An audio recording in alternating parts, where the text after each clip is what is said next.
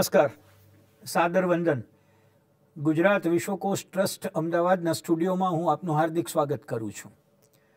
બહુ આનંદનો વિષય છે, એવો એક રૂપકડો પ્રકલ્પ લઈને અમે આવ્યા છીએ ગુજરાત વિશ્વકોશ ટ્રસ્ટ અમદાવાદ અને સંતુલન રાજકોટના સંયુક્ત ઉપક્રમે.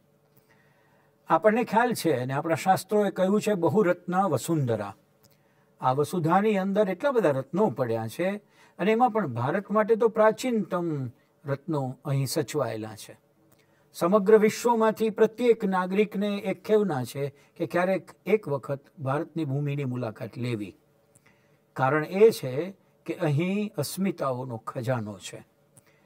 ભારતની વાત કરીએ તો ગુજરાત તો ચોક્કસ એમાં અગ્રેસર છે. અને ગુજરાતની અંદર તો માનવીય અસ્મિતાઓનો એક ભંડાર ભરેલો છે. કદાચ એવું બન્યું છે કે આપણે આપણી નજીકની અસ્મિતાઓને ઓળખવામાં થોડીક વાર લગાડી છે. અમને બંને સંસ્થાઓને એવો વિચાર આવ્યો કે ચાલો આપણે આ માનવીય અસ્મિતાઓ તરફ જઈએ અને એમની જીવનયાત્રા કેમ ચાલી છે એ આપણે જાણીએ. આજે મને આનંદ એ વાતનો છે કે આ પ્રકલ્પની અંદર ગુજરાતભરમાંથી વિશિષ્ટ એવી અસ્મિતાઓના સાથે વિશેષ સંવાદ કરવા માટે અમે આ સ્ટુડિયોમાં ભેગા થયા છીએ. આપ સૌને જાણીને આનંદ થશે કે ગુજરાતની અંદર સરનામા વગરના માણસો માટે જીવનાર અને એમના માટે પોતાનું જીવન શ્વાસે શ્વાસે અર્પણ કરનાર મિત્તલ પટેલ મારી સાથે સ્ટુડિયોમાં ઉપસ્થિત છે. હું મિત્તલ હાર્દિક સ્વાગત કરું છું. મને બહુ જ આનંદ છે કે અમે આજે મિત્તલની સાથે વાત કરવાનું અહોભાગ્ય પ્રાપ્ત કર્યું છે. અહોભાગ્ય એટલા માટે કે મિત્તલની પ્રવૃત્તિઓ એટલી બધી છે કે દૂર દરાજના ઇલાકાની અંદર તમને મિત્તલ મળે. અમદાવાદમાં રહેતી હોવા છતાં એમને એક જગ્યાએ બેસાડીને વાત કરવા માટે થઈને મુશ્કેલી થતી હોય ત્યારે મિત્તલ અહીંયા હાજર છે એનો હું બહુ જ અહોભાવ વ્યક્ત કરું છું. અને મિત્તલ મેં કહ્યું એ પ્રમાણે એક નાનકડી વાત અમારા મનમાં એવી રહેતી હતી. મને એમ થતું હતું કે ગુજરાતમાં કેટલી બધી વિભૂતિઓ એવી છે? કેટલી બધી અસ્મિતાઓ એવી છે? જેના વિશે યુવા ધન તો એમ માને છે કે આ લોકોને બધું પ્રાપ્ત થઈ ગયું છે. હકીકત એ નથી. એમણે પણ સંઘર્ષ કર્યો છે. એમને પણ જીવનની અંદર અનેક મુશ્કેલીઓ આવી છે અને છતાં એણે મુશ્કેલીની સામું જરા પણ જોયા વગર પોતાનો માર્ગ કંડાર્યો છે. એટલે આવતી પેઢી સમક્ષ એવા આદર્શો આપણે ત્યાં પડ્યા છે એને મૂકીએ એમને કામ કર્યા છે એની તો વાત કરીએ જ, પણ એનું જીવન કેમ વીત્યું? એની જીવન યાત્રા કેમ આગળ આવી? મારી સાથે અત્યારના મિત્તલ પટેલ છે તો સૌને પ્રશ્ન છે કે આ મિત્તલનું બાળપણ ક્યાં ગયું હશે? એના મમ્મી પપ્પાએ એને આવું કામ કરવાની કેમ છૂટ આપી હશે? તો એ બધા પ્રશ્નો માટે થઈને આપણે આજે સંવાદમાં મળ્યા છીએ અને આપણે બહુ જ દિલથી અંતરંગ સંવાદ કરવો છે. મને સૌથી પહેલાં એ જાણવામાં રસ છે મિત્તલ કે મારી સામે જે મિત્તલ પટેલ છે એ નહીં પણ એક નાનકડી મિત્તલ કેવી હતી કે ઉછરી છે મમ્મી પપ્પાએ કેવી રીતે એને ટેકો કર્યો છે વગેરે યાત્રા મને કહે. આમ મારું વતન મહેસાણાનું ઉત્તર ગુજરાતનું મહેસાણાનું સંખલપુર ગામ નવરાત્રિનો પર્વ હમણાં જ ગયો એટલે જેનું વારે વારે નામ પણ શંખલપુર સોહામણું રે શંખલપુરની શેરીઓ રે મને જોયાના કોડ જોઈએ જે ગવાય એ ગામ મારું એમ. અને શેરીઓમાં રમી છું. પ્રાથમિક શિક્ષણ મારું ત્યાં થયું એમ. અને મમ્મી પપ્પા બંને ખેતી સાથે સંકળાયેલા. અને પશુપાલન અને ખેતી એ બંને એટલે વ્યવસાય મુખ્ય એમ. પણ નાનપણમાં ક્યાંક એક ચીજો બહુ જ જોયેલી ભદ્રાયુભાઈ કે મારા દાદા એટલે આમ એવું કહેવાય કે ગાયકવાડી સ્ટેટ વખતે મારા દાદાના દાદાને ખુશી મળેલી અને આજુબાજુના પંદર વીસ ગામોનો વહીવટ કરે એમ. અને એવું કહેવાય કે ગામના કોઈ ગરીબ માણસો, અત્યારે રોજગારીની ઘણી બધી તકો ગામોમાં ખેતી સરસ થઈ ગઈ છે, પશુપાલન. તેમ છતાં શહેરભણી એક આકર્ષણ હોય છે. એટલે સુખ સુવિધાઓ માટે લોકો શહેરમાં આવતા હોય. એ વખતે પણ ગામોમાં તકો ઓછી હતી, એટલે લોકો પોતાનું ગામ છોડી અને બીજા ગામોમાં રોજગારી અર્થે માઇગ્રેશન કરે. તો એવું કહેવાતું કે ગામનો એવો ગરીબ વર્ગ જ્યારે એની પાસે બહુ નાનકડી મૂડી જે પણ હોય, સોનું, ચાંદી કે પૈસા ટકે બેંકો તો હતી ને એને લોકરની વ્યવસ્થાઓ નહોતી એમ. તો મારા દાદાના વખતમાં અમે જોયેલું કે એ જ્યારે ગામમાંથી બહાર નીકળે ને તો મારા દાદાના ત્યાં એ મૂકીને જાય એમ. અને એવા કેસીસ મને યાદ છે કે પંદર વીસ પચીસ વર્ષે એ લોકો પાછા આવે ને તો એનું પોટલું એને અકબંધ એ મળે એમ એવી રીતે અને બીજી એક ચીજ એ હતી કે જે જે હું એ સંસ્કાર ક્યાંક જે કહેવાય ને કે કોઈ માણસમાં કોઈક ચીજ ક્યાંથી આવી એમ. અને એ એના મૂળિયા કંઈક જુદા હોય. પૂર્વજન્મના સંસ્કારોની પણ લોકો વાત કરતા હોય. તો મેં નાનપણમાં એ પણ જોયેલું કે મારા દાદા અને નાનાનું બંનેનું ઘર એ પ્રકારનું કે જ્યાં પ્રાઇમસ અથવા ચૂલા ઉપરથી તપેલી રાત પડે ને એટલે ચૂલો ઠરે એમ. એટલા બધા માણસો ત્યાં એમના પ્રશ્નોને લઈને આવવાનું એમની સમસ્યાઓને લઈને આવવાનું અને જેટલા થાય એટલું સમાધાન એમને આપવાનું. આ બધું ક્યાંક નાનપણમાં જોયેલું. અને બાળપણ એટલું મસ્ત કે બસ રમવાનું છે મોજ મસ્તી એ પ્રકારની આખી અને આ બધો સામાજિક કોઈ ભાર પણ નહીં. અને મને ખબર પણ નહોતી કે હું મોટી થઈને શું કરીશ એમ. અને ઇનફેક્ટ હવે ક્યાંક એક ટ્રેન્ડ દેખાય કે બાળકો જન્મે ત્યારથી મા બાપ એક ચિંતા કરતા હોય કે મોટા થઈને એને બચ્ચું શું બનવા ઈચ્છે છે એ બાળક ઉપર નથી. હોતું પણ મા બાપ એને તૈયાર કરતા હોય કે તારે આ કરવાનું છે એમ. મારા કિસ્સામાં એવી કોઈ જ ભાર નહોતો એમ. અને એટલે પણ સ્પોર્ટ્સમાં હું બહુ સરસ હતી. એટલે સાતમા ધોરણમાં હું ભણતી હતી અને મારું એથ્લેટિક્સમાં, સ્પોર્ટ્સ હોસ્ટેલ માટે મારું સિલેક્શન થયું એમ. અને પહેલી વખતે મા બાપથી દૂર મારે જવાની વાત ગામમાં થઈ એમ. અને મારા, અમારા ગામમાં એ વખતે કદાચ મારા સિવાય કોઈ એવી છોકરી નહોતી કે જે બહાર આવી રીતે ભણવા માટે જવાનું નક્કી થયું હોય. ઇનફેક્ટ મારા દાદાએ તો, મારી મમ્મી આમ સાત ચોપડી ભણેલી પણ એણે કીધું કે તારે જવાનું છે એમ. અને બહુ નવાઈની વાત એ હતી ભદ્રાયુભાઈ કે જ્યારે મમ્મીએ કીધું કે તારે જવાનું છે અને પહેલા તો બહુ ઉત્સાહ થયો કે આખા જિલ્લામાં આપણે એક જ પસંદ થયા છે ને તો વટ પડી જાય એના જેવું એમ. પણ જ્યારે દિવસ નિશ્ચિત થયો કે આ દિવસે તારે જવાનું છે એ દિવસે બહુ ડર લાગ્યો. અને મારું હું મમ્મીનો પલ્લું કોઈ દિવસ ના છોડું. એ મામાના ઘરે જવાનું નક્કી કરે કે બે દિવસ માટે કે પાંચ દિવસ માટે હું જઉં છું તો હું ધમપછાડા કરતી. રિયલી એમ કે એને એ મને મૂકીને કેવી રીતે જઈ શકે એમ? નિશાળ ચાલુ હોય એટલે મને ના લઈ જઈ શકે. એવી હું જ્યારે મને ફાઇનલ દિવસ આવ્યો કે કાલે સવારે તારે જવાનું છે એટલે રાત્રે ભાંગી પડી. મેં મમ્મીને કીધું કાપડાથી તો નહીં થાય હું તો તારા વગર ના રહી શકું એમ. તું હોય તો હું બધું જ કરી શકું એમ. અને એણે પહેલા તો પંપાળી મારી મમ્મી મારી માટે બહુ આઈડિયલ છે ને, આદર્શ પણ દરેક વ્યક્તિ માટે હોય, પણ એણે બહુ બધું શીખવ્યું છે મને. એણે બહુ પ્રેમથી કશું જ, આપણે નથી જવું એવું, બરાબર રીતે, એટલે એકદમ રિલેક્સ થઈ ગઈ. અને ધેન પછી એણે મને જે સમજાવ્યું, એ એ ચીજ મને બરાબર યાદ છે, મારા અમારા રસોડાના ચૂલાની બાજુમાં બેસાડીને એણે મને કીધેલું કે મારું પલ્લું પકડીને તો આખી જિંદગી તું જીવી શકીશ એમ એટલે. અને એ પલ્લું પકડીને અહીં તું રહીશ ને તો તને મારી મર્યાદામાં શીખવા ને જાણવા પણ મળશે એમ. પણ એ પલ્લું છોડીને તું બહારની દુનિયામાં પ્રવેશ કરીશ ને મારા વગર એમ તો એક આખી નોખી દુનિયા તને જોવા મળશે અને ત્યાં તારી એકલા એ જ એટલે ભૂલ કરીશ તો હું નહીં હોઉં. સારું કરીશ તોય હું નહીં હોઉં એમ. પણ એ બધાની વચમાં તારે તારી જાતને એકલા જ સંભાળવાની છે એકલાએ જ એટલે જ્યાં યા હોમ કરીને પડવાનું છે તો એ પડવાનું છે. અને એની મજા છે ને બહુ જુદી છે એમ એટલે. તો તું એ મજા માટે પણ તું જા એક વખત માટે. બે મહિના રોકાય એમ. ના ફાવે તો આવતી રહેજે એમ. અને પેલું કહેવાય ને દુનિયા એ છે એમ એટલે. અને પછી મને લાગ્યું કે વાત સાચી છે ચાલ હું પ્રયત્ન કરીશ એમ. અને એણે બહુ જ પ્રેમથી આખું બધું સમજાવ્યું. મને બાજરીનો કડક રોટલો એટલે તવી ચૂલો ઠર્યા પછી તવી મારે ને કડક થાય ને એની ઉપર ઘી લગાડી મારો ફેવરિટ એમ. તો એ એણે બનાવીને મને મસ્ત રીતે ખવડાવ્યો અને જાણે મને આમ લાલચ એક આપી હોય ને એના જેમ. અત્યારે જેમ ચોકલેટ આપે છે. એની જેમ એમ. અને નેક્સ્ટ ડે ની વાત ભદ્રાયુભાઈ મને હંમેશા એ યાદ રહ્યું કે બીજા દિવસે સવારે જ્યારે મારા પપ્પા બધું રેડી કરી અને મને મૂકવા માટે લઈને બધા રેડી એમ. અને હું તૈયાર થઈને બહાર જઈ રહેતી ત્યારે મમ્મીએ ફરી મને બોલાવી ને એણે એક સરસ વાત. જુઓ, પહેલાં પંપાળ્યું, પ્રેમ કર્યો અને પછી મને એમ કીધું કે જો હવે તું જાય છે ને, તો ત્યાં હું નહીં હોઉં ફરી વાર અને તું જે પણ સફળતા પ્રાપ્ત કરીશ એમ, એની હિસ્સેદારી અમારા બધાની હશે એમ.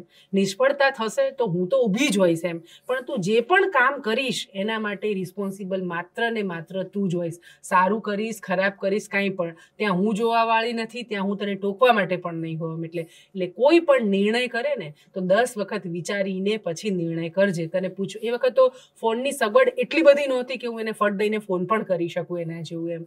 એટલે, અને કદાચ એ ચીજ મેં માઇન્ડમાં હંમેશા યાદ રાખી એમ અને પછી સ્પોર્ટ્સ હોસ્ટેલમાં ભણવા ગઈ. ટકી ગઈ મમ્મી વગર એમ. અને રાજ્ય કક્ષા નેશનલ પણ રમી એને લઈને. અને દસ ધોરણ સુધી એ એ ભણવાનું થયું. પણ ગામ હંમેશા એકદમ નજીક રહ્યું હૃદયની. અને મારી સ્કૂલ પ્રાઇમરી સ્કૂલ જે ગામમાં હું ભણી એની પણ એટલી બધી યાદો એ શિક્ષકો મને હંમેશા થાય કે શિક્ષકો કેવા હોવા જોઈએ. તો એ એકે શિક્ષકને હું ભૂલી નથી એમ. જેમણે નાના નાના મૂલ્યો જીવનના શીખવ્યા. એકદમ મસ્ત વાત એ કરી કે કોઈ પણ સિઝન અત્યારે મેં ટ્રી પ્લાન્ટેશનના કામ કરીએ ફર્ધર આપણે એની વાત પણ આગળ કરીશું એમ. પણ મને એમ થાય કે કોઈ પણ સિઝન એટલે કે પીલું ઉપર, પીલું પીલુડી ઉપર પીલું આવે, વડ પર ટેટા આવે, બોરડી પર બોર આવે, અને ખેતરમાં મગ થાય, કે તુવેર થાય, તો એ બધું ખાલી થાય છે અને વાંચવું એવું નહીં એમ. એ સિઝનમાં આખા દિવસની અમને રજા સવારે આઠ વાગે અમારે બોર ખાવા જવાનું, તો બે દિવસ પહેલાંથી અમારા શિક્ષકો અમને કહે અને અમે કપડામાંથી થેલીઓ સીવીએ બોર ભરવા માટે એમ. અને પછી અમને લઈ જાય ત્રણ ત્રણ ચાર એ અમારું ટ્રેકિંગ એમ એસ જ અને પાછા આવીએ ત્યારે આખા વા હાથ કાંટા કાંટા. પણ આનંદ એ વાત કે અમે આટલા બધા બોર બે ત્રણ થેલીઓ ભરીને બધા માટે લાવ્યા હોય એવી રીતના. એ જ રીતે પીલું ખાવાનું. પાન અત્યારે નહીં પણ એ પીપળના પાન તોડીને એની અંદર મીઠું મરચું ખાંડ નાખી અને એ ખાવાનો એ જે આનંદ એમ. એટલે બહુ જુદી રીતે આખું બાળપણ એન્જોય કર્યું છે પ્રાથમિક શાળામાં વરસાદ પડે એટલે વાતાવરણ ઘનઘોર થાય એટલે શિક્ષકો અમને છુટ્ટી આપી દે છત્રીની સગવડ તો હતી એ વખતે પણ અમને તો યુરિયા ખાતરની જે ખાલી થયેલી થેલીનો. ટોપો બનાવી અને એની જે મજા હતી ભાગતા ભાગતા આવવાનું પાંચ વાગે આંબી નિશાળ છૂટે એટલે થેલો ઓસરીમાં નાખી અને એ જ સ્કૂલ ડ્રેસના કપડે નીકળી પડવાનું ધૂળમાં રમવા માટે થઈને અને થાકીને લોથપોથ થઈ જવાય ત્યાં સુધી રમવાનું એમ કોઈ દિવસ તળાવમાં નાવા જવાની પણ એવી જ મજા ભાઈ. અને બધા જુદા જુદા વ્રત મને યાદ છે કે મનદેવતા મોળાકત આ બધું મહત્વ નથી ખબર કે એનાથી શું થવાનું છે. પણ સારો વર મળે એવું કે મળ્યો છે જો કે મને. પણ એ બધા વ્રત પણ મેં કર્યા છે. અને એટલી મજા હતી. મને એમ છે કે આજે ગામડાઓમાં પણ આ ચીજો બદલાઈ ગઈ છે. શહેરના બાળકો તો એ રીતે મને એમ લાગે કે ઘણા કમનસીબ છે જે અમે એન્જોય કર્યું છે એ રીતના. અને આ પ્રાથમિક શિક્ષણ મારું ગામડામાં એકથી સાત ધોરણ સંખલપુરમાં જેમ. અને પછી આઠમાંથી મારું ભાવનગર ભણવાનું અને સ્પોર્ટ્સ હોસ્ટેલમાં અને ડિસ્ટન્સ મહેસાણાથી ભાવનગર ઘણું બધું લાંબુ બધું લાંબુ એટલે મમ્મીનો પલ્લું છોડવો નહોતો પણ બહુ બહુ જ ગેપ સાહજિક રીતે છૂટી ગયો એમ. અને ત્યાં પપ્પા મને લઈને મૂકવા માટે આવેલા એમ. મારા પપ્પા આમ બોલવાનું બહુ ઓછું એમનું એમ, આમ માં જેમ હેત કરે આપણને કે કોઈ પણ ચીજમાં વાલ કરે, એવું મારા પપ્પા બહુ એમ એવું ભાવના તો ઘણી હોય, પણ એ પ્રદર્શિત કરવાનું પપ્પાને બહુ ફાવે નહીં એમ. પણ એ મને મૂકવા આવેલા ને ત્યારે એમણે એક સરસ વાત કરી, બધો સામાન મારા રૂમમાં ગોઠવાઈ ગયો પછી, કે મિત્તલ હું ખેતી અને પશુપાલન આપણું. એ બે એટલો મોટો વ્યવસાય છે કે બંનેને મૂકીને તું જ્યારે બોલાવીશ ને ત્યારે અમે નહીં આવી શકીએ એમ. એટલે હવે. તારે એકલા આવતા જતા શીખવાનું છે. આ સાતમા ધોરણની છોકરીને આમ આવું કહીએ તો થોડી વાર માટે તો ફળક બેસી જાય. મને યાદ છે કે મારા કુટુંબીજનોમાં લગ્ન થયા પછી મારા માસીને કે મારા માસીની દીકરીને એકલી જવાનું હોય ને તો એને બસમાં બેસાડીને એના ગામ બસ ઉતરવાની હોય ને તો એને બીક લાગતી એમ. ત્યાં પપ્પાએ મને કહી દીધું કે તારે હવે એકલા જવાનું છે એ વખતે બે બસ અને પછી એક રિક્ષા આટલું ચેન્જ થાય ને તો મારું ગામ આવે પાછું એમ. પણ મેં સ્વીકાર્યું કે હા ચલો કરીશું એવી રીતના. અને પહેલા તો એવું જ હતું કે બહુ નહીં ટકાય મમ્મી વગેરે. પણ હું ટકી ગઈ ત્યાં આગળ. અને સાતમાંથી એકલા ટ્રાવેલ કરવાની મને જે છે તે ટેવ પડી એમ. સ્પોર્ટ્સ હોસ્ટેલની આખી લાઈફ બહુ જ જુદી. સવારે સાડા પાંચે ઉઠવાનું બે અઢી કલાક સવારના પ્રેક્ટિસ બે અઢી કલાક સાંજે પ્રેક્ટિસ દોડવામાં ને બધામાં હું ખાસું બધું એમ. અને દસમા પછી મને થયું કે મારે સ્પોર્ટ્સમાં આગળ નથી જવું મારે સાયન્સ ભણવું છે. અને રીઝન એ ને આપણા ત્યાં આદર્શ કોણ? તો આપણા ભાઈ બહેન જે એમણે જે કર્યું છે આપણે કરીએ. પેરેન્ટ્સની એ સમજ નહોતી કે આપણને કોઈ રસ્તે લઈ જઈ શકે ને આગળ નક્કી કરે તું આ કરજે એમ. એટલે મારી મોટી બેન છે સાયન્સ એણે લીધું એમ. અને એ વખતે સાયન્સ લેવું એટલે એમ થાય કે ના, સમાજમાં વટ પડી જાય તમારો. એમ બહુ અઘરું છે ને ભણી રહી છે. એટલે મને પણ થયું કે આપણે બી વટ પાડીએ. એટલે અગિયાર બાર સાયન્સ મેં લીધું અને આખી સ્પોર્ટ્સ વાળી જે આખી જર્ની હતી મારી ત્યાં સ્ટોપ થઈ સ્પોર્ટ્સ અને સાયન્સ બેયનો એસ જાળવી રાખે. હા પરફેક્ટલી અને કડી સર્વ વિદ્યાલય છે ત્યાં અને ગાંધીનગરમાં પછી હું ભણી એમ અગિયાર બાર સાયન્સ મેં કમ્પ્લીટ કર્યું. અને ઈચ્છા એ વખતે પછી ના ગોલ ડિસાઈડ થાય. સાયન્સ તો લઈ લીધું પણ એ વખતે બી નક્કી નહોતું કે મારે શું કરવું છે. મને એવું લાગ્યું કે એન્જિનિયર બનીએ તો વટ પર ડૉક્ટરના આપણી કેપેસિટી નહોતી એમ. એટલે એન્જિનિયર થઈશ એમ તો એ પણ સરસ એમ. પણ એટલા પર્સન્ટેજ નહીં આવ્યા. બહુ જ અપસેટ થઈ ગઈ અને પછી થયું કે ચાલો લાઈફ તો પૂરી નથી થતી અને બીએસસી કરીશું એટલે બીએસસી ફિઝિક્સ સાથે. પણ એક ચીજ બહુ મારામાં બહુ નોખી નોખી કરતાં એક જુદું એ રીતનું હતું કે જનરલી છોકરીઓના કિસ્સામાં હું એ જોતી કે એ ભણતી હોય તો એને એમ હોય કે ભાઈ ભણવાનું છે એમને. અને પછી અલ્ટિમેટ ગોલ શું? તો એક સારો છોકરો મળે. અને પરણી જવાનું. પરણી જવાનું એમ. મારા કિસ્સામાં કોણ જાણે કેમ પણ એ ચીજ હતી જ નહીં. એટલે મને એમ હતું કે હું નહીં કમાવું તો શું થશે? બહુ જ આમ એનો ભાર એટલો બધો હતો કે, અરે બાપરે, એમ એટલે લાઈક છોકરાની જે રિસ્પોન્સિબિલિટી સમાજ વ્યવસ્થા આપણા ત્યાં જે છે, એવી વ્યવસ્થામાં ક્યાંક મને પણ એમ હતું કે ભાઈ, એવું ભણવાનું ને પછી મારે તો કમાવાનું છે એમ. એટલે ગ્રેજ્યુએશન પણ પછી સતત એ ટેન્શન કે ભાઈ મને કમાવાનું છે. અને ઇનફેક્ટ આપણા એ, અમારા સમાજમાં એ વખત એવું થતું કે ઇવન આજે પણ એવું થાય છે ગામડાઓમાં કે મોટી બેન પરણતી હોય ને એની ભેગા નાની બેનના પણ લગ્ન એટલે એક ખર્ચામાં બધું થઈ જાય. હા બરાબર છે.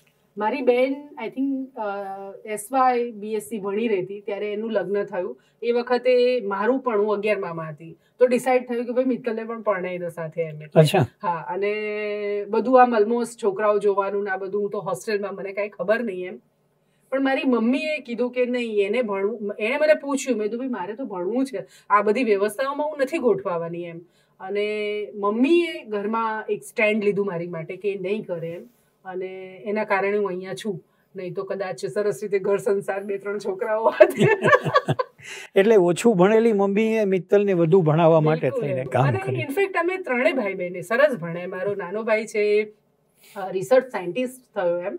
અને એ અને ગામમાંથી હું પહેલી નીકળી એ પછી આજે કેટલી બધી દીકરીઓ છે ગામમાંથી જે બહાર નીકળી અને સ્વતંત્ર રીતે ભણતી થઈ. તો હંમેશા એક હતું કે આપણું કામ ઉદાહરણીય રૂપ બને.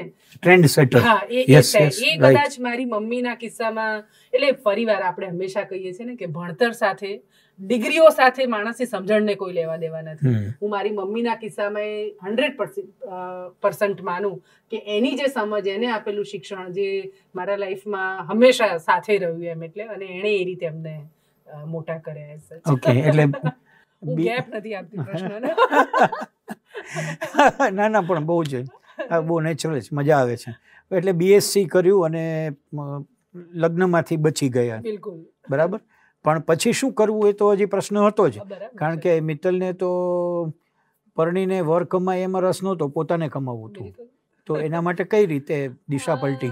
એકચ્યુઅલી કેવું છે બીએસસી ફિઝિક્સ સાથે કમ્પ્લીટ કર્યું ફર્સ્ટ ક્લાસ આવ્યો પણ ખરો એમાં. એમએસસી માટે મને થયું કે હું એમાં જઈશ તો પ્રોફેસર બચ્ચાઓના લાઈફમાં ગોલ કેવા ચેન્જ થતા રહેતા હોય છે એવું હું મારા કિસ્સામાં સતત જોતી હોઉં છું. અને ઘણી વખત આજના પેરેન્ટ્સ એમના બાળકોને લઈને બહુ ચિંતિત હોય ત્યારે હું કહું છું કે નિશ્ચિત સમય આવે ને ત્યારે બધું ગોઠવાઈ જતું હોય છે. અને બદલાય છે એટલા ગોલ બદલાવા દો ને એમ. એવું મારા કિસ્સામાં પણ થયું. આ સરસ વિચાર છે. અત્યારે તો આપણને ખબર છે કે બાળક જન્મે ત્યારથી એને શું થવું એ મા બાપ નક્કી કરે છે. અને એ પ્રમાણે જ થાય. ન થાય તો એ છોકરું નકામું નકામું. અને બીજું પછી બચ્ચા ઉપર બી એક પ્રેશર અને પછી ઘણી વખત મેં જોયું પણ છે કે આફ્ટર વીસ પચીસ વર્ષ પછી એકદમ બ્લાસ્ટ થાય અને કે મને આ નહોતું કરું તમે મને કરાવ્યું. એવું મારા કિસ્સામાં નથી થયું. અને એ જ કદાચ લાઈફ જર્ની જે છે ને આપણી એ જ સાચી છે એવું મારું માનવું છે. બીએસસી પ્રોફેસર આ બધું એક મનમાં આવ્યું. એમએસસી માટે મેં પ્રયત્ન કર્યો. વલ્લભ વિદ્યાનગરમાં મને એડમિશન પણ મળ્યું. પણ સડનલી એવું થયું કે ખરેખર એ જ ગમશે એમ અને એ જ કરવું એમ. અને એમાં મેં વાંચ્યું યુપીએસસીની પ્રિપરેશન કલેક્ટર આ બધું. એટલે મને થયું કે આ પ્રોફેસર થઈશ તો પેલું દસથી છ ની જોબ અને લાઈક ફિક્સ તમે પેલા થઈ ગયા. અને હંમેશા આમ થોડી કેવી છું મારી મમ્મી મારી મમ્મી એવું કે બહુ મારા નાની કહેતા કે બહુ ઉધમાત વાળી છોકરી છે. એટલે ધમાલ મસ્તી વાળી જે કહેવાય ને કે જેને સીધી રસ્તે ચાલવાનું હોય ને તો એ ના ચાલે એમ. અમારી એક આડોડિયા કમ્યુનિટી છે જેમની સાથે અમે કામ કરીએ. એટલે આડા રસ્તે ચાલે એટલે એનું નામ આડોડિયા. જો કે એમને જુદા વ્યવસાયો પસંદ કર્યા એટલે આડોડિયા. તો હું ક્યાંક એના જેવી હતી એમ એટલે સીધું નથી ગમતું આને એમ. એટલે પછી થયું કે ભાઈ આપણે આ પ્રોફેસર પછી તો એ જ પેલી ના ઘરેડ ફિક્સ એમ, તો આવું નથી થવું એમ. તો ચાલ યુપીએસસી ની પ્રિપેર અને એ સમજ હતી એક્સપોઝર પણ હતું. અને મને થયું કે આ તો હું કરી જ લઈશ એમ. અને પછી એ બધું પડતું મૂકીને હું અમદાવાદ આવી અને એક ઇન્સ્ટિટ્યૂટ જોઈન કર્યું કોમ્પિટિશન એક્ઝામની પ્રિપરેશન કરવા માટે. અને ત્યાં વાંચવાનું મારું સરસ ચાલ્યું. અને એ દરમિયાન કોઈકે મને કીધું કે આપણે જર્નલિઝમ ભણીએ ને તો આ યુપીએસસીની પરીક્ષામાં તમને બહુ ઉપયોગી થાય. ઇન્ટરવ્યૂ વખતે કામ આવે તમારું જ્યારે એમાં જીકેના જે પેપર તમારા એ બધા તમે બહુ આરામથી ક્લિયર કરી શકો એમ. એટલે મને થયું કે તો તો આપણે આ કરવું જ તે. અને જર્નલિઝમમાં મેં એડમિશન લીધું. એ પણ બહુ ટફ એક્ઝામ હતી કોલેજની ગુજરાત યુનિવર્સિટીમાંથી અને આઈ થિંક મારી લાઈફનો ટર્નિંગ જે છે ને ભદ્રાયુભાઈ એ ગુજરાત યુનિવર્સિટીમાં એ જર્નલિઝમ ભણવા માટે મેં જે કોલેજમાં એડમિશન લીધું ને એના પ્રોફેસર સોનલ પંડ્યા. એનો ગુરુનું શું મહત્વ હોય એ પણ અને શિક્ષક શું કરી શકે ને ઓલવેઝ ચાણક્ય કહેતા જેમ પણ એ મેં પ્રત્યક્ષ મારા જીવનમાં તો હું અનુભવી શકું. સોનલબેન પાસે મારું ભણવાનું થયું અને એટલા બધા શિક્ષકો વેરી ડાયનેમિક પ્રોફેસર એકદમ વેરી એકદમ ડાયનેમિક અને એ બહુ જ બધા પ્રોફેસર અમને બહારથી ભણાવવા માટે આવતા. સોનલબેન સતત બધી એટલી મને એમ થતું હતું કે મારું સી ભણવાનું જે થયું ને હું સ્પોર્ટ્સમાં ભણી મહેસાણામાં બીએસસી કર્યું પણ એક ફિક્સ ચોપડ્યા એ જ મારું જ્ઞાન અને એક્સપોઝર એટલે આ જ પ્રકારનું મારું એક્સપોઝર એ સિવાયની દુનિયાની ખબર જ નહોતી મને. એનજીઓ સેક્ટર એટલે શું? સેવા માટે આવું કોઈ કામ કરે? સેવા એટલે મારા પપ્પાએ બહુ બધી ગામમાં દીકરીઓ પણ આવી મને એમ થયું કે એ પણ એ છે. મારી મમ્મી છાશનો વારો હોય અને ગોળીમાં છાશનું તળિયું ના આવી જાય ને, ત્યાં સુધી બધાને છાશ આપ્યા કરે. મારે મને સેવા ઓફકોર્સ એ છે સેવા, પણ કોઈ ઇન્સ્ટિટ્યૂટ આખી આવી રીતના કામ કરે. આ બધી ચીજો અને ગુજરાતમાં આટલા બધા પ્રોબ્લેમ્સ છે, આ બધી મને કાંઈ જ ખબર નહીં. એટલે હું એવું કહેતી હતી કે પેલું બચ્ચું જન્મે ને, પછી જ્યારે ચાલવાનું શીખે ને, પછી એને રોકાવું જ ના હોય. એને કોઈ પણ આંગળી આપે ને એટલે એને દોડવું જોઈએ મારી હાલત સંપૂર્ણપણે એના જેવી હતી એમ. હું સવારે છ વાગે ઉઠું અને રાતના બે બે વાગ્યા સુધી તમે મારા ઘરે રૂમ રાખીને રહેતી. તો છાપાઓની પસ્તી એટલે આટલા છાપા. હું એક છાપું ના આપું કોઈને. મને એમ થાય કે બધું તમારે વાંચવાનું. ઇનફેક્ટ વાંચ્યા પછી પણ એ છાપું મેં દસ દસ વખત વાંચતી હોઈશ. પુસ્તકો મેં એટલા બધા ખરીદ્યા ટ્યુશન કરાવવાનું મેં શરૂ કર્યું. એક એક એવું ખબર પડી કે મા બાપના પૈસા લઈને આખી જિંદગી ના ભણાય એમ એટલે. મા બાપ તો ખમતી ધરે, તો હું માંગુ એ બધું આપે. પણ એ સમજ ક્યાંક એ પોતાની રીતે ડેવલપ થઈ અને ટ્યુશન કરાવતી એમાં મને યાદ છે કે પાંત્રીસો રૂપિયા પગાર, કદાચ આ મેનેજમેન્ટ થોડુંક ફાઇનાન્શિયલ શીખીને એમાંથી એમ. પાંત્રીસો રૂપિયા મારા મહિનાના આવે, એમાં હજાર રૂપિયા રૂમનું ભાડું આપું. હજાર રૂપિયા પુસ્તક પાછળ ખર્ચવાના તે સાતસો રૂપિયા મારા પેટ્રોલના થતા હતા. પછી મારી પાસે બચે સાતસો જ રૂપિયા એમ. તો એ સાતસો રૂપિયામાંથી મારે મારું આખો મહિનો ચલાવવાનું ખાવા પીવામાં. મને આ છે કે હું પાંચ રૂપિયાની પાણીપુરી ખાઈને ઘણા બધા દિવસ સુધી ચલાવ્યું હશે એમ. મારા મમ્મી ને પપ્પા એક વખત મને મળવા આવ્યા ત્યારે બંને તો એટલા દુઃખી થઈ ગયા. મને કહે કે તું એટલે આપણી પાસે કશું જ નથી, તો તું આવી આ જાતે ગરીબી કેમ વોરી છે એમ? પણ મેં એમને કીધું કે, મને જાતે કરવા દો ને સી ભદ્રાઈભાઈ મને બહુ સાચું લાગે છે કે પેરેન્ટ્સ તરીકે બાળક નથી સમજતું ને તો મને એમ છે કે પેરેન્ટ્સે પણ ક્યાંક આ- ચીજો બચ્ચાઓને કહેવી જોઈએ એમ કે આ છે ને આટલામાં તમે એ કરો એમ. બહુ બધું દઈ દેવું ને કદાચ એ મહત્વ એ પાંત્રીસો રૂપિયા જાતે કમાઈને એમાંથી ઘર ચલાવવાની જે આખી એમાંથી એ એક વખતે અઢીસો રૂપિયા બચાવીને મમ્મી માટે સાડી લઈ જવી એમ. અને એની જે ખુશી હતી એના મોઢા ઉપર સો આ બધી ચીજો હું ત્યાં એટલે એકચ્યુઅલ પાર્ટ મારા ડિપાર્ટમેન્ટ જર્નલિઝમનું જે છે સોનલબેને ઇન્ડાયરેક્ટ વેમાં જે સમજ્યું હું ખૂબ ટ્રાવેલ કર્યું. કદાચ એ બે વર્ષમાં આખા ગુજરાતનો ખૂણે ખૂણો એટલે ગુજરાતનો આખો ગોલ્ડન કોરિડોર આપણો જે છે એ એટલે વાપીથી લઈને મહેસાણા સુધીનો ઇન્ડસ્ટ્રીયલ આખો એરિયા અને સિલ્વર કોરિડોર જેને કહીએ આપણે દરિયાકાંઠો એ સોળસો ને ત્રેસઠ કિલોમીટરનું એ આખે આખું હું ફરી એમ અને ખૂબ સંસ્થાઓ લાલચ સંસ્થાઓ એટલે મને શું કામ બોલાવે? એક એવી ભણતી છોકરી જે સચ કોઈ એટલે કઈ કોણ ઓળખે એને? અને હું કોઈ સંસ્થામાં કહું કે હું આવીશ એમ. તમારે ત્યાં મને આવવું છે તો એ લોકો શું કામ સમય આપે એમ? ત્યારે હું એવું કહેતી કે હું લખવાનું સારું કરું છું તો હું તમને ડોક્યુમેન્ટેશન કરી આપીશ એમ. તમે મને બે દિવસ તમારે ત્યાં રોકાવા માટેની પરમિશન આપો ને. અને તમારે ત્યાંથી જેને તમે કહેશો ને એને મારી સાથે ગોઠવી દો. બે દિવસ મને રખડવું છે એમ.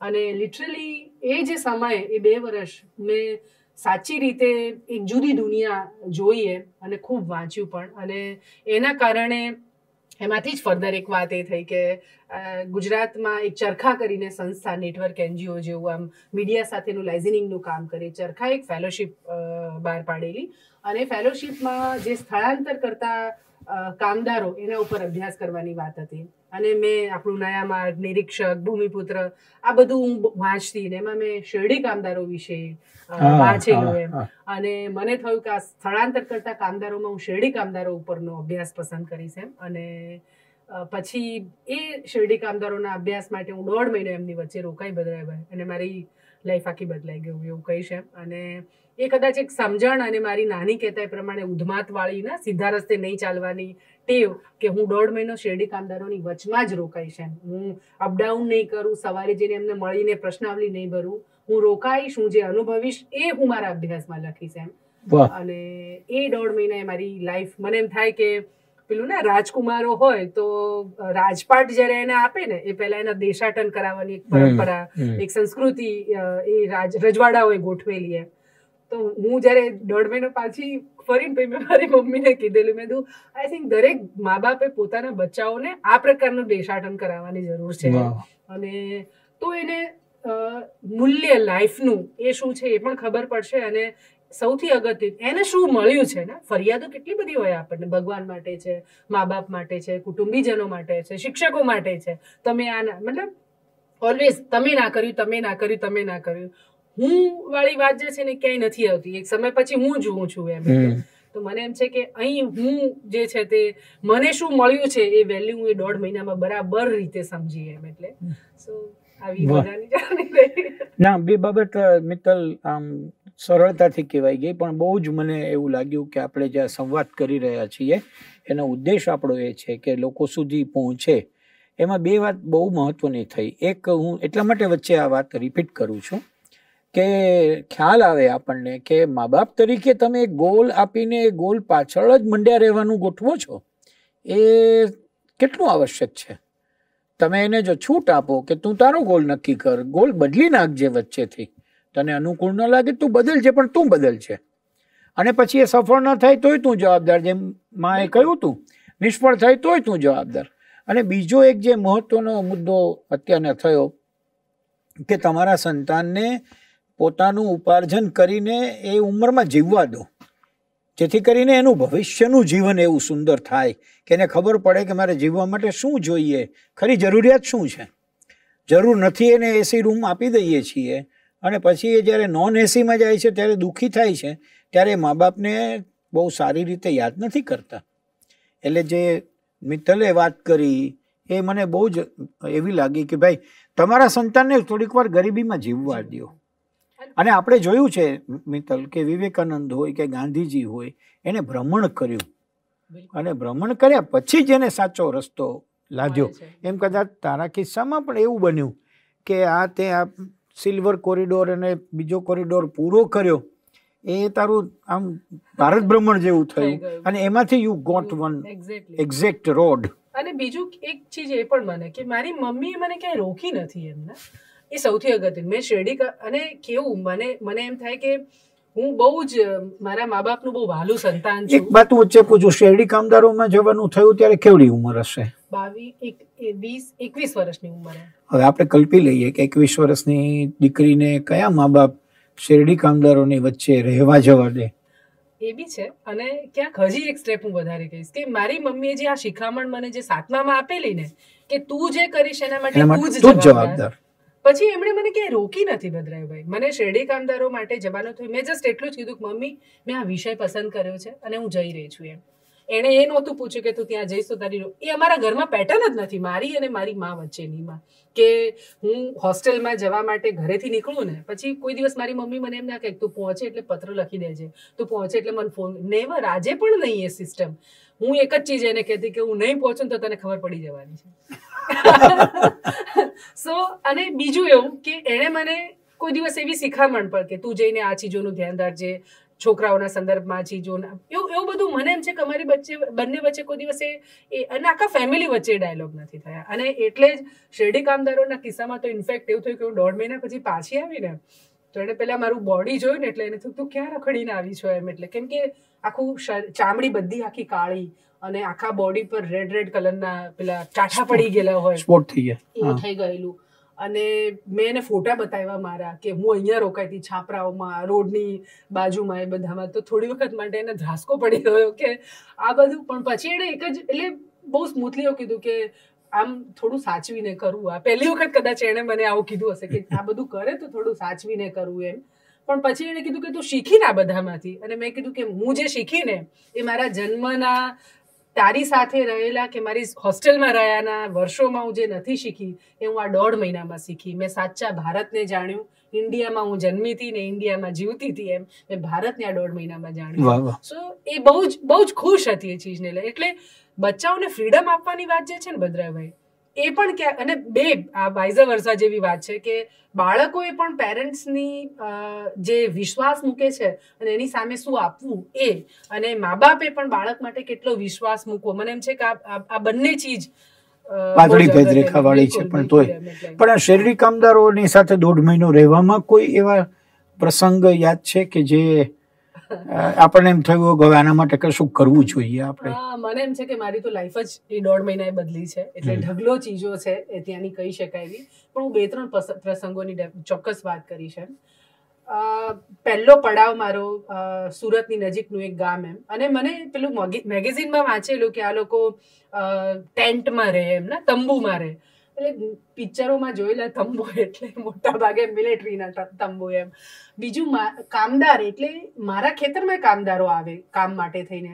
પણ મારા ત્યાં તો કેવો વ્યવહાર કામદારો સાથેનો બહુ જુદા પ્રકારનો બદલાવે. મને ગૌરવ છે કે મારા મા બાપે કામદારોને એક પોતાના ફેમિલી જન ગણીને એને એટલું બધું સન્માન આપે એમ. ખાવા પીવાની છૂટ બપોરે આરામ કરવાની એ છૂટ. કોઈ દિવસ ધોંસ એની ઉપર જે હોય ને એવું એવું કોઈ દિવસ મેં નહીં જોયું. બોર પર રહે તો બોરની ઓરડીમાં સુવાનું બહાર લાઇટની વ્યવસ્થા મારા પપ્પા કરી આપે એમ. એટલું બધું. આજુબાજુવાળા જ કહેતા કે તમે બગાડી રહ્યા છો આ લોકોને. એટલે મારો ક્રાઇટેરિયા તો મારા ખેતરમાં આવતા કામદારોના જેવો જ કે એવી જ ફેસિલિટી અહીંયા આગળ હશે. અને એટલે જ હું શિયાળામાં લગભગ નવેમ્બરમાં હું ત્યાં આગળ ગઈ હોઈશ એમ. અને બે હજાર ચારની વાત છે નવેમ્બર. અને મને હતું કે ત્યાં ટેન્ટ હશે રહેવા માટેની, લાઇટની ફેસિલિટી હશે, ઓઢવા પાથરવાનું તો એ લોકો મને આપશે જ એમ. ના, એવું બધું માણીને એક થેલામાં વાંચવાની ભૂખ જે ઉઘડી હતી એમ, એટલે એક થેલો ભરીને ચોપડા અને ઓફકોર્સ નવા કપડાં પહેરવા ખૂબ ગમે મને એમ, કપડાનો બહુ શોખ મને. સો એક કપડા, થેલો ભરીને કપડાં, આ બે લઈને ગયેલી, બાકી ઓઢવા પાથરવાનું કાંઈ જ નહીં. સ્વેટર જે હોય એક અને એકાદી શોલ બસ આટલી ચીજો. અને ત્યાં પહોંચ્યા પછી મેં જે જોયું કે ઓ આ આ તો મારી કલ્પના મુજબનો પડાવ નથી આ રહ્યો. પ્લાસ્ટિકના મીણિયા આપણે જનરલી શહેરોમાં જોઈએ છે કે આટલી હાઇટવાળા, જેમાં માણસ સરખું ઊભું પણ ના રહી શકે એમ.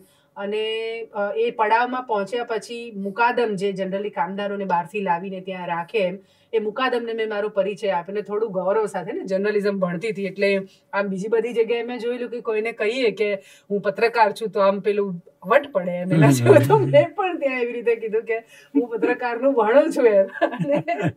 પેલાને એવું એ ખોટો વટ પાડ્યો મેં. પણ એ પત્રકાર એને એવું લાગ્યું કે આ કોઈ પત્રકાર છે અને અમારા વિશે બધું જાત જાતનું લખી નાખશે એમ. એટલે એણે ના પાડી કે ભાઈ અહીંયા કોઈ એવી ઇન્ફોર્મેશન નથી તું અહીંયાથી જતી રહે એમ. અને એ બિલકુલ ભાવના આપે મને. અને ફાઇનલી એક રીતે તો મેં પણ આ પડાવ જોયા પછી ડિસાઈડ કર્યું તો કહ્યું તો હું ના રહી શકું એમને હું સુરત પાછી જતી રહું, પણ આવી છું તો થોડી ઇન્ફોર્મેશન મળી જાય, પણ એ ના મળી. અને ફાઇનલી હજુ હું વિચારતી હતી જ કે હું જતી રહીશ ત્યાં આગળ. એ દરમિયાન અને મારી સાથે ત્યાંની એક લોકલ સંસ્થા હતી, નવસર્જન. એનો એક છોકરો મુકેશ મારી સાથે હતો.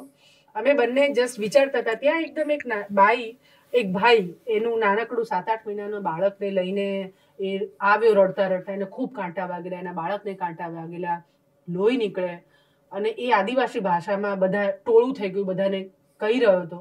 મુકેશે મને કીધું કે એ ને એની પત્ની બંને જણા પાછા આવતા હતા, ત્યારે બાઇક પર કોઈ બે જણા આવ્યા અને એની પત્નીને ઉપાડીને લઈ ગયા. એની પત્નીની કેડમાં બચ્ચું હતું એમ. એટલે બાળકને જબરજસ્તી થઈ એમાં વાડમાં નાખી દીધેલું અને સી, એકદમ પહેલી વખતે અત્યાર સુધી મને કોઈ દિવસ ડર નહીં લાગેલો. મને હું ટ્રાવેલ કરું હોય તો હું રાત પસંદ કરું ઓલવેઝ હંમેશા, કે દિવસે જઈએ ને તો કામ થઈ જાય સવારના પોરમાં એમ એટલે. પહેલી વખત એવું, એ ભય લાગ્યો કે આ, આની બેન આ ઘટના ઘટી એ જ રસ્તે પંદર મિનિટ પહેલા જ હું આવેલી એમ. અને મને એમ પણ થયું કે પેલા માણસના હાથમાં તો કોઈ તો શેરડી કાપવાનું સાધન હતું એમ. અને છતાં એ પોતાની પત્નીને નહીં બચાવી શક્યો તો હું ને મુકેશ તો શું કરી લેવાના હતા એમ. અને એક ભય મને હતું કે પોલીસ આવશે એમ જનરલી આપણે ફિલ્મોમાં જોઈએ છે એવી રીતે. ભલે થોડી મોડા પણ આવે તો આવે. પણ અહીં તો અડધો કલાક આ બધી ચેપ્ટર ચાલ્યું. કોઈ પોલીસ ના આવી એમ. મેં પૂછ્યું કે કેમ પોલીસ ના આવી? તો એમણે કીધું કે અગર પોલીસને બોલાવીએ તો આ મુકાદમ ફરીવાર કામ પર ના લાવે એમ. અને મને થયું કે કેવી મજબૂરી આ રહી એમ માણસની. અને મેં કીધું તો પેલી બેન? એટલે એમણે કીધું કે તો આવી જશે ક્યારે? એક બે ત્રણ દિવસમાં આવી જશે તો મને થયું કે આટલું સાહજિક રીતે આપણે આ- આ લાઈફને સ્વીકારી શકીએ? હું જ્યાં જીવી હતી જ્યાં મેં જે જોઈ હતી જિંદગી અને આ આ બેમાં આસમાન આસમાન જમીન શું કોઈ રીતે કોઈ કમ્પેર જ ના કરી શકીએ એમ. અને ડર હતો, મનમાં નિશ્ચિત થઈ ગયું કે આપણે તો ભાગી જવું છે, પણ હવે તો ભગા એવી હાલત એ નહોતી એમ, કેમ કે મારી સાથે પણ આ થઈ શકે. મુકાદમને મેં રિક્વેસ્ટ કરી કે ભાઈ મને તારી ત્યાં આજે છાપરામાં સુવા દે એમ. પણ એ એટલો જડ માણસ હતો, એણે કીધું કે ના, તું જતી જ રહે અહીંયાથી એમ. અને હું બહુ ડરી ગઈ હતી. મારી લાઈફમાં એકવીસ વર્ષમાં મને કોઈ દિવસ ડર નહીં લાગ્યો. એવો પહેલી વખતે હું એક છોકરી છું ને એનો ડર મને એ વખતે ફર્સ્ટ ટાઈમ લાગ્યો અને મેં પછી નક્કી કર્યું કે મુકેશ કે હું પડામાં શોધી લઉં. અગર કોઈ બેન મારા ગામ બાજુનું હોય તો આપણે ત્યાં રોકાઈ શકીએ. હું પણ ગઈ. એક બેનને મેં કીધું કે મને રાત તારી ત્યાં રોકાવા દે ને. અને એને બહુ જ સાહજિક રીતે ભદ્રાયુભાઈ કીધું કે તે રહી જા ને એમ. મને હંમેશા એવું થાય કે શહેરમાં હું જ્યાં રહું છું મારા ઘરનો દરવાજો કોઈ આવી બેન ખખડાવે તો શું એટલી સાહજિક રીતે એને કહે કે હા રોકાઈ જાય એમ એવી રીતે? એણે કીધું એ રાત્રે એની બાજુમાં મારું હું સૂતી એમ ઓઢવા પથરવાનું તો એની પાસે બી એટલું બધું નહોતું. એને અગે એને કોથળી આપી યુરિયાની. એ પાથરી અને ઠીઠુરવાનું કેમ કે ઠંડી એટલી બધી એમ. મારા થેલામાં લઈ ગયેલી સાત આઠ જોડી કપડાં મેં પહેરી લીધા તોય આખી ઊંઘ તો ક્વેશ્ચન જ નહોતો બી કે બહુ હતી એમ. પણ એ રાતમાં આઈ થિંક સવારનો પરોઢ થાય ને ત્યાં સુધીનો વિચાર ભાગવાનો જ હતો. પણ એ પરોઢ પછી એક નવો વિચાર જે મનમાં થયો, એ મને એ આવ્યું કે હું અહીં કેમ છું એમ. ના? હંમેશા એવું થતું હોય, હું થોડીક આમ કુદરતને બહુ જુદી રીતે માનું પણ ખરી. અને મને એમ થાય કે દરેક વસ્તુનો એક સંકેત ઈશ્વર આપણને કરતા હોય છે. એ ઈશ્વર એ સંકેતને આપણે ઓળખીએ તો આપણો રસ્તો કદાચ વધારે સ્મૂથ થઈ જાય છે. નથી ઓળખતા તો ભગવાન કે તું જાણે ને તારું કર્મ જાણે એમ એની જેમ. પણ ભગવાન આપણને રસ્તો ચિંતાડે છે. મને ક્યાંક એવું લાગ્યું કે ક્યાંક મને ભગવાન કંઈક કહેવા તો નથી માંગતા ક્યાંક એ મને કંઈક જુદો રસ્તો તો નથી વાહ. માંગતા. જો હું અહીંથી ભાગી જઈશ ને તો કુદરત જે બતાડવા માંગે છે ને હું નહીં સમજી શકું. તો મિત્તલ અહીં તું છે અને તું સેફ છે એમ. તો તારે એ રસ્તો શોધવાનો છે. અને એ નિશ્ચય થયો ભદ્રાભાઈ કે હું દોઢ મહિનો અહીંયા જ રહીશ અને મારે સમજવું છે કે શું કામ આવી સ્થિતિ છે. એ કુદરત જે પણ રસ્તો બતાવવા માંગે છે મારે સમજવું છે સવારે રાબેતા મુજબ એ પડાવમાં હું ખેતરમાં પણ ગઈ, લોકોને મળી એમ પણ દોઢ મહિનો હું શેરડી કામદારોના જુદા જુદા પડાવમાં રહેવાનું થયું. મેં ભીખ માંગીને ખાવાનું પણ ખાધું છે મારી પાસે પૈસા નહોતા એવું નહોતું પણ હું ઇન્ટિરિયર ગામડાઓમાં ફરતી. અને ત્યાં લોજ કે એવું ફૂડ ના મળે. આદિવાસી કામદારો મને ખાવાનું ઓફર ના કરે. સી મને એમ થયું કે સાલી કેટલી ખરાબ સમાજ વ્યવસ્થા છે આપણી એમ. ન કહેવાતી ભદ્ર સમાજની હું છોકરી. એટલે પેલાને એવું લાગે કે આ તો અમારું ખાય ને એવું એને માની લીધું એમ. હા, અને મને તો એની દાળ જોઈને એમ થતું હતું કે આ ક્યારે હા પાડે અને હું તૂટી પડું એમ. અને ક્યાંક પાછો આમ પણ ને એટલે હું માંગતી પણ નહોતી એની પાસે. આ તમે જુઓ કે કેવું શિક્ષણ આપીને આપણે બાળકોને મોટા કરીએ છીએ અથવા આપણે એક એવા વાતાવરણમાં રહીએ છીએ એટલે આ એક જુદા પ્રકારનો દંભ એમ. ગ્રંથિઓ બાંધી દઈએ છીએ બિલકુલ એમ. અને એટલે એક પડાવ મને યાદ છે આઈ થિંક ગામડામાં મેં મહત્તમ પાર્લે બિસ્કિટ ખાધા હશે ને પેલા પાંચ રૂપિયાના ભૂંગળા હું કહેતી હોઉં છું કે આમ નાની હતી ને ત્યારે આમ એક એક આંગળીમાં ભૂંગળા ભરાઈને આપણે ખાઈએ ને, તો આમ એવું થતું કેટલો આનંદ આવે. પણ એ વખતે કોઈ પાર્લે બિસ્કિટ બતાવે તો માથામાં મારવાનું મન થાય. એટલું બધા એ ખાઈ લીધેલા અને પછી સળંગ અઢી ત્રણ દિવસ થઈ ગયેલા. મેં કંઈ નહીં ખાધેલું એમ. કેમ કે પેલું તો જોઈને ઊભ આવતી હતી હવે એમ.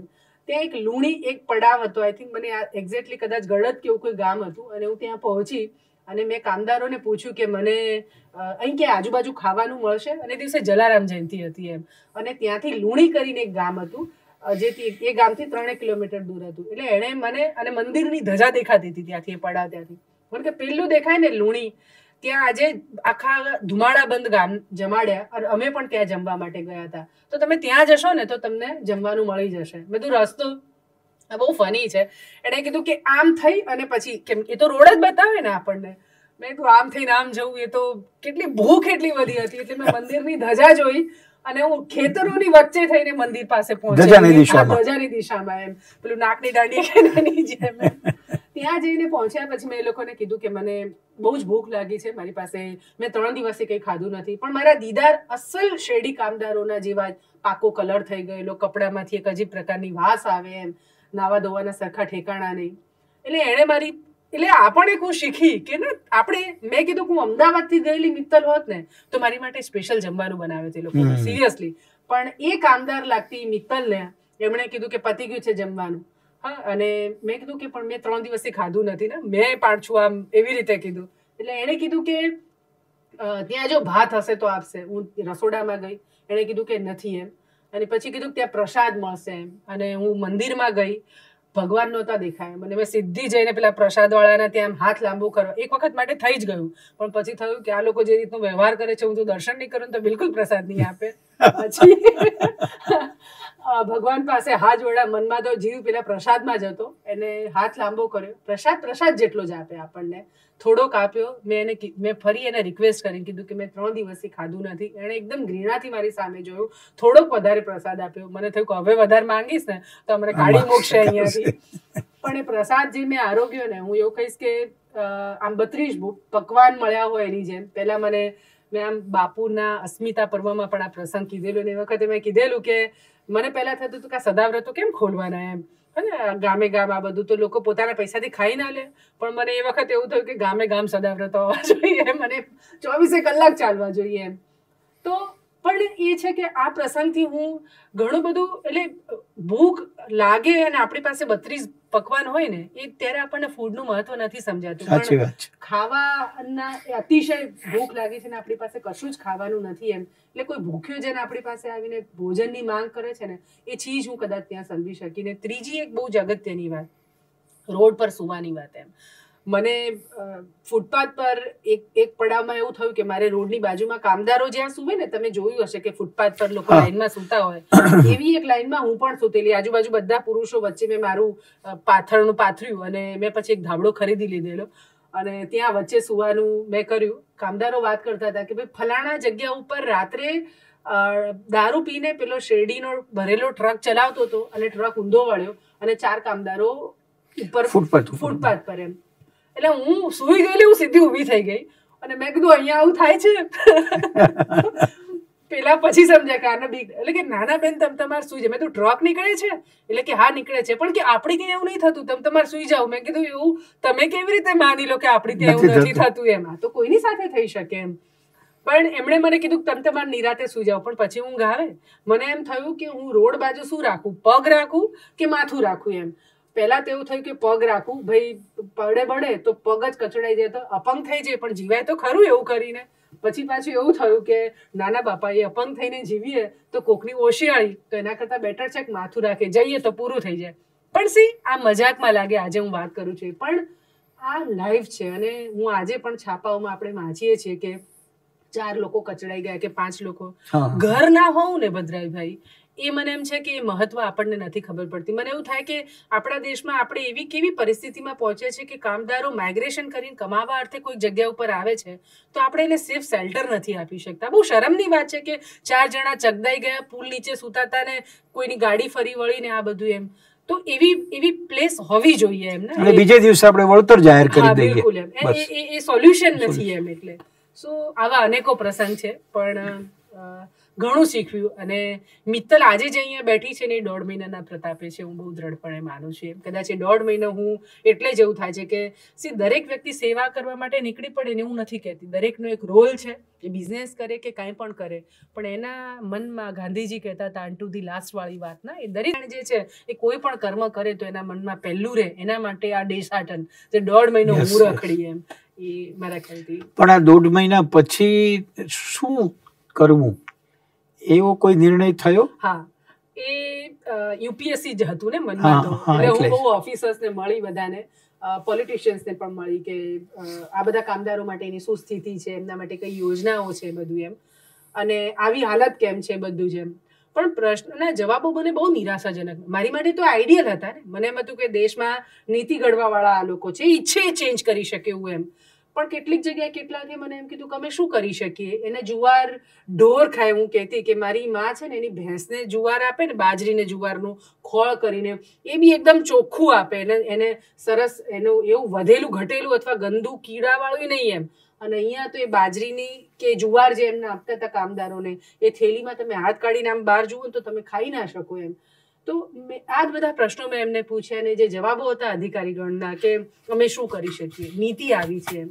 તો દેન ફરીવાર એક રિફ્લેક્શન મારા તરફ આવ્યું કે પેલું ના કે હું પણ આ જ બનવા ઈચ્છું છું અને હું પણ એવું જ કહેવાની કે હું શું કરી શકું તો મારે તો આ નથી બનવું એમ એટલે. અને જીવનમાં એક બીજી ચીજ જે બહુ દ્રઢતાથી જે હું શીખી હતી અને ક્યાંક એમાં પણ હું મારી મમ્મીનો જ રોલ સૌથી પહેલા લાવીશ કે એણે એવું શીખવેલું કે પૈસા ખાતર કામ કરવું ને એવું કોઈ દિવસ નહીં કરવાનું. મનને ગમે એવું કામ સૌથી પહેલા એમ એટલે. અને ક્યાંક મને એવું લાગ્યું કે મારા મનને મને તો અધિકારી એટલા માટે બનવું હતું કે મારે કમાવવું હતું. બહુ સાચું કહું તો કે ભાઈ પોતાના પગ પર ઊભું રહેવું હતું એટલા માટે. એ વખતે સેવાનો એવો કોન્સેપ્ટ બી નહોતો કે અધિકારી બનીશ ને હું સેવા કર. ના પણ એ બધું મને આ બે વર્ષમાં સમજાયું એમ.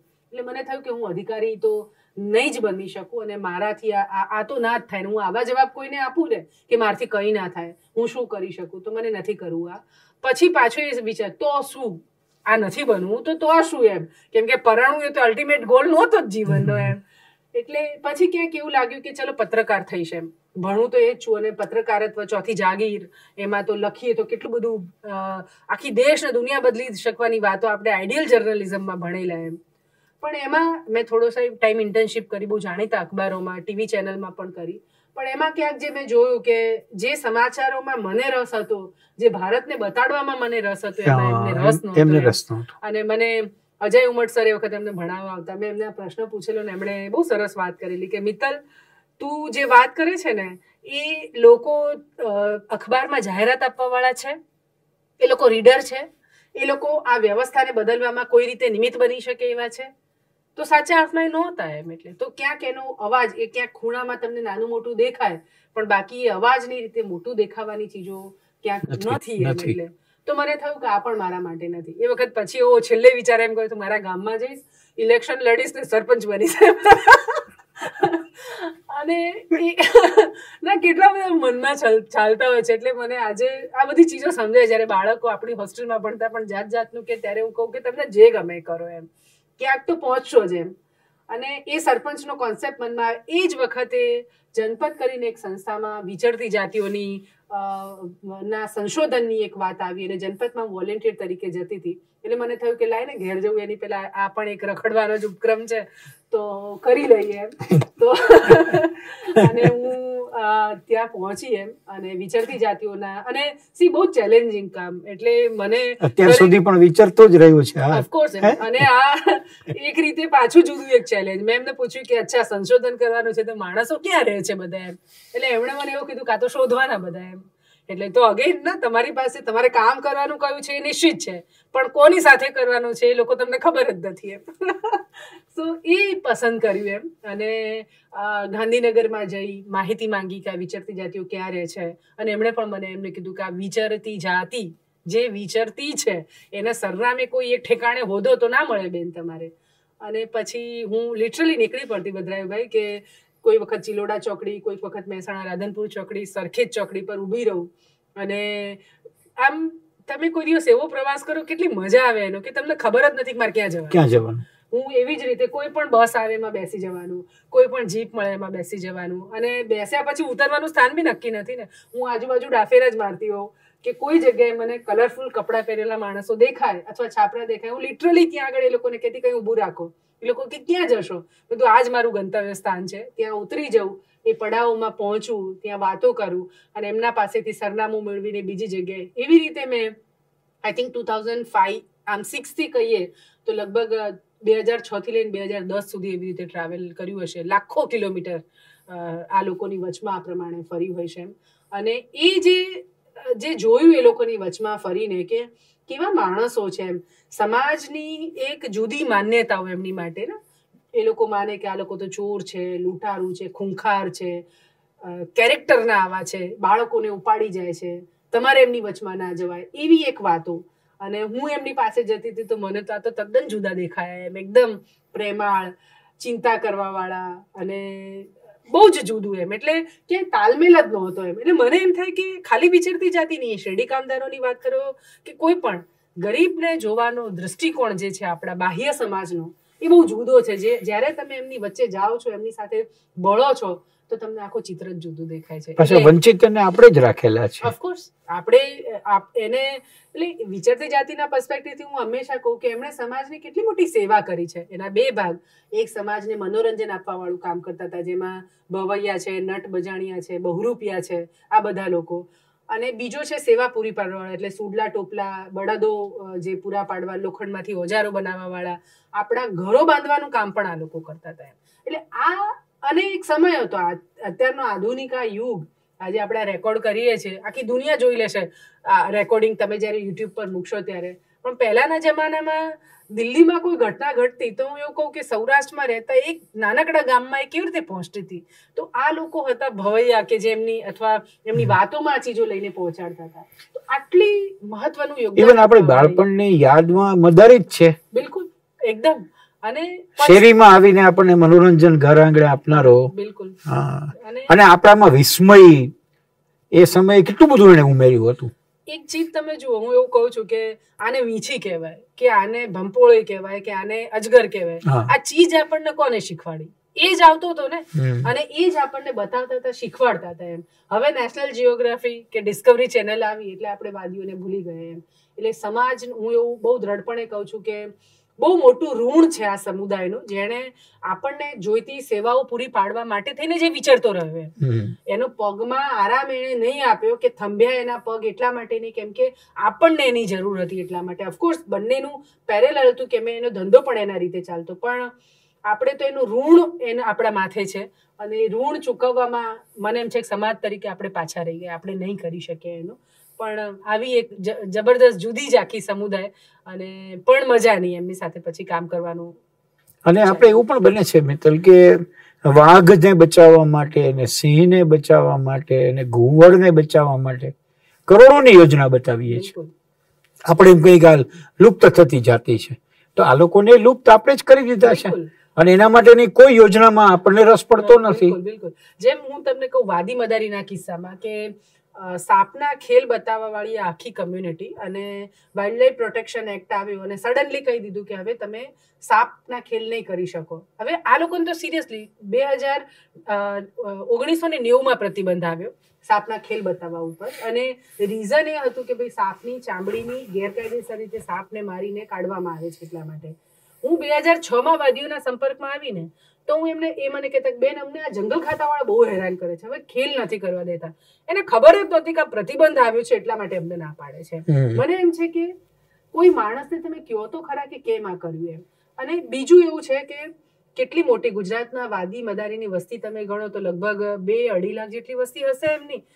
નર્મદા ડેમ બન્યો કે કોઈ પણ વિકાસના કામો માટે થઈને કોઈ એક વસ્તુ જ્યારે ઘર જાય છે કોઈ મિલકત જાય છે તો સામે એનું રિહેબિલિટેશન થાય છે ને? મિલકતના રૂપમાં આપીએ કે કોઈ પણ રીતે.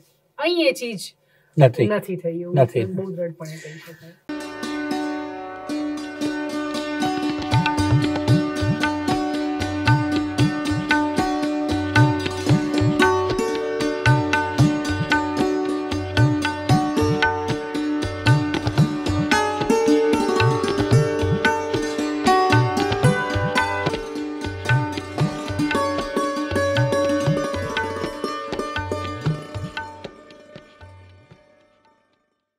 નમસ્કાર મિત્રો, ફરી એકવાર આપણે મિત્તલ સાથે આપણો સંવાદ જારી રાખીએ. આપણે બહુ જ સંઘર્ષની દુનિયા આંખમાં આપણે પાણી આવી જાય એવા પ્રસંગોમાંથી મિત્તલે પોતાનું જીવન પસાર કર્યું છે.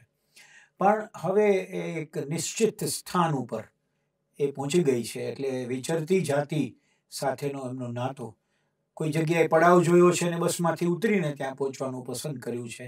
ક્યાંક કોઈએ ના પાડી તો ત્યાં પણ જઈને એમણે પોતાનો પડાવ નાખ્યો છે. આપણે આ મિત્તલ પટેલ એટલે આજે વિચરતી જાતિઓ માટે એક સરનામું છે.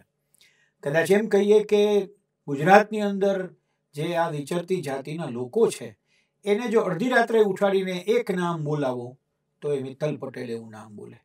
આપણે મિત્તલની એ યાત્રા વિશે હવે એમની સાથે વાત કરીએ અને સંવાદ આગળ ધપાવીએ. મિત્તલ. આ સમુદાયને શોધવાનું તો ઓલમોસ્ટ થઈ ગયું એવું કહી શકું કે અલગ અલગ પડાવોમાં જઈને એક થોડીક રસપ્રદ વાત આ મને બહુ જ આમ કહેવાય ને કે ઇન્ફોર્મલ વેમાં વાત કરતા એવું થાય એટલે મને એમ થાય કે વાત પણ હું તમને કરું. શોધવાનું જ્યારે કરતા હતા ને ત્યારે મને કેટલાક લોકોએ કીધેલું કે આ લોકો તમને પેલું કેટલા પડાવો તમે ફરશો? તમારું જીવન પતી જશે એમ, આ બધાને શોધવાના પર્સપેક્ટિવથી અને એમાં એક છોકરાએ મને કીધેલું કે, મેં એમને પૂછેલું કે, તમે બધા ભેગા ક્યારે થાવ તો એમણે કીધું કે, લગ્ન હોય ને ત્યારે ભેગા થાય. તો મેં એમના બહુ જ બધા લગ્નો એટેન્ડ કરેલા. પણ લગ્નોમાં બહુ એવી ગંભીર પ્રમાણેની વાતો ના થાય, કેમ કે બધા એમની મસ્તીમાં હોય. કોને મારું ભાષણ સાંભળવું ગમે? એટલે મેં એમને પૂછેલું કે, તમે બધા ગંભીર ક્યારે હોવ? એમ. એટલે એમણે એક એ- એમાંથી જ કોઈકે મને જવાબ આપેલો કે બેન કોઈ મરી જાય ને ત્યારે જે અમે બારમામાં કે એમાં ભેગા થઈએ એમ એટલે ચાલીસમામાં કે એમાં ત્યારે અમે બધા બહુ આમ શાંત અને બધું જ એમ. તો ત્યારે તમે આવો તો તમારી વાત બધા સાંભળે. અને ભદ્રાભાઈ બહુ ફની વાત છે. હું ખરેખર એવું પોતે તમારે ત્યાં કોઈ મરી જાય ને તમને મને બોલાવજો. મને આમ બહુ હસવું આવે કે સારું છે કોઈએ મને એ વખતે માર્યું નહીં એમ. નહીં તો કાઢી મૂકે તેમાં. આવું કોઈને પૂછીએ તો. પણ બહુ જ નોખો સમુદાય અને એટલો બધો પ્રેમાળ કોઈક એવું કહે કે ભાઈ, આ લોકો તો બાળકોને ઉપાડીને લઈ જવા વાળા ડફીરના કિસ્સામાં તેવું કહેતા કે કેટલા ખૂંખાર. એમને તો એમના ત્યાં તો તમારા એકલા જવાય જ નહીં. જ્યારે પહેલી વાર હું ડફેરોને શોધતી ત્યારે જે સમાજે ચિત્ર ખડું કરેલું ને, એ તો મને આમ ઝવેરચંદ મેઘાણીના બારવટિયાઓ વિશે વાંચતા હોઈએ કે જૂના ગુજરાતી પિક્ચરોમાં બારવટિયાઓની જે કલ્પના એવું મને લાગતું કે આવા ખૂંખાર માણસો હશે.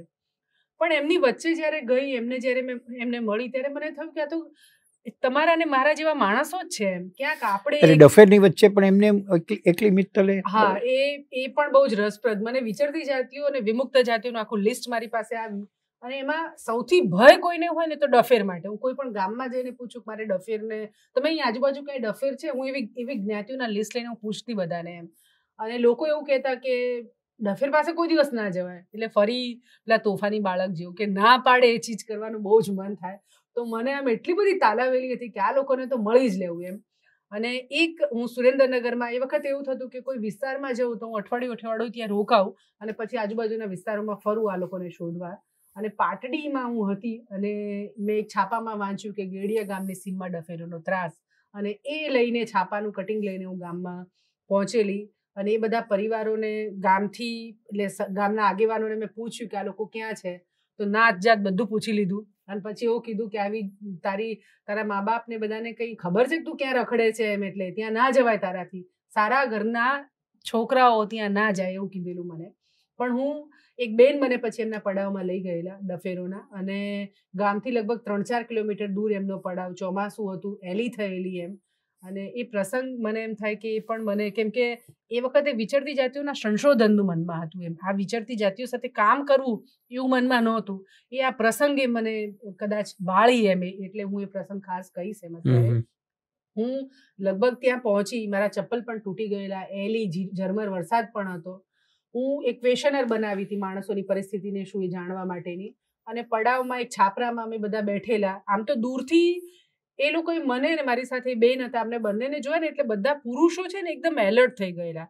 અને આમ જાણે ભાગવાની તૈયારી કરતા હોય ને એવી રીતના. એટલે મેં પૂછ્યું કે પછી પેલા એમણે આમ આમ કર્યું કે બેહો બેહો અમે જ છીએ એમ. એટલે મને નવાઈ લાગી કે આવું કેમ એમ? એટલે એમણે કીધું કે જો પોલીસ કે એમાંથી કોઈ હોય તો ભાગવાની ખબર પડે ને એટલા માટે થઈ ગયા. એટલે આટલા બધા ભયમાં એ લોકો જીવે. એ છાપરામાં હું બેસી અને વાતો કરી રીતે મુસાભાઈ એના મુખી હતા એમની સાથે કે શું સ્થિતિ છે આ છે તે છે. એક બેન એકદમ નાનું, તાજું જન્મેલું બાળક, કદાચ ચાર પાંચ દિવસનું એને લઈને બેઠેલા, એ બચ્ચું એટલું બધું રડ્યા કરે. એટલે મેં એને કીધું કે તું આને ધવડાવ ને એમ, આટલું બધું રડે છે તો એમ. હું તો મને ડિસ્ટર્બ થતું હતું, કેમ કે સતત અવાજ રડવાનું એટલે વાત નહોતી કરી શકતી. અને એ બેને મારા પ્રશ્ન, મેં એને આ જે કીધું, એની સામે એણે મને કીધું કે, આ સતત એલી થઈ છે ને, તો જંગલી બિલાડા બારા નથી નીકળતા જેને મારીને અમે ખાઈ શકીએ. અને કે, મેં ચાર દિવસથી ખાધું નથી મેં ખાધું નથી તો ધાવણ ક્યાંથી આવે તો હું આને આપી શકું એમ.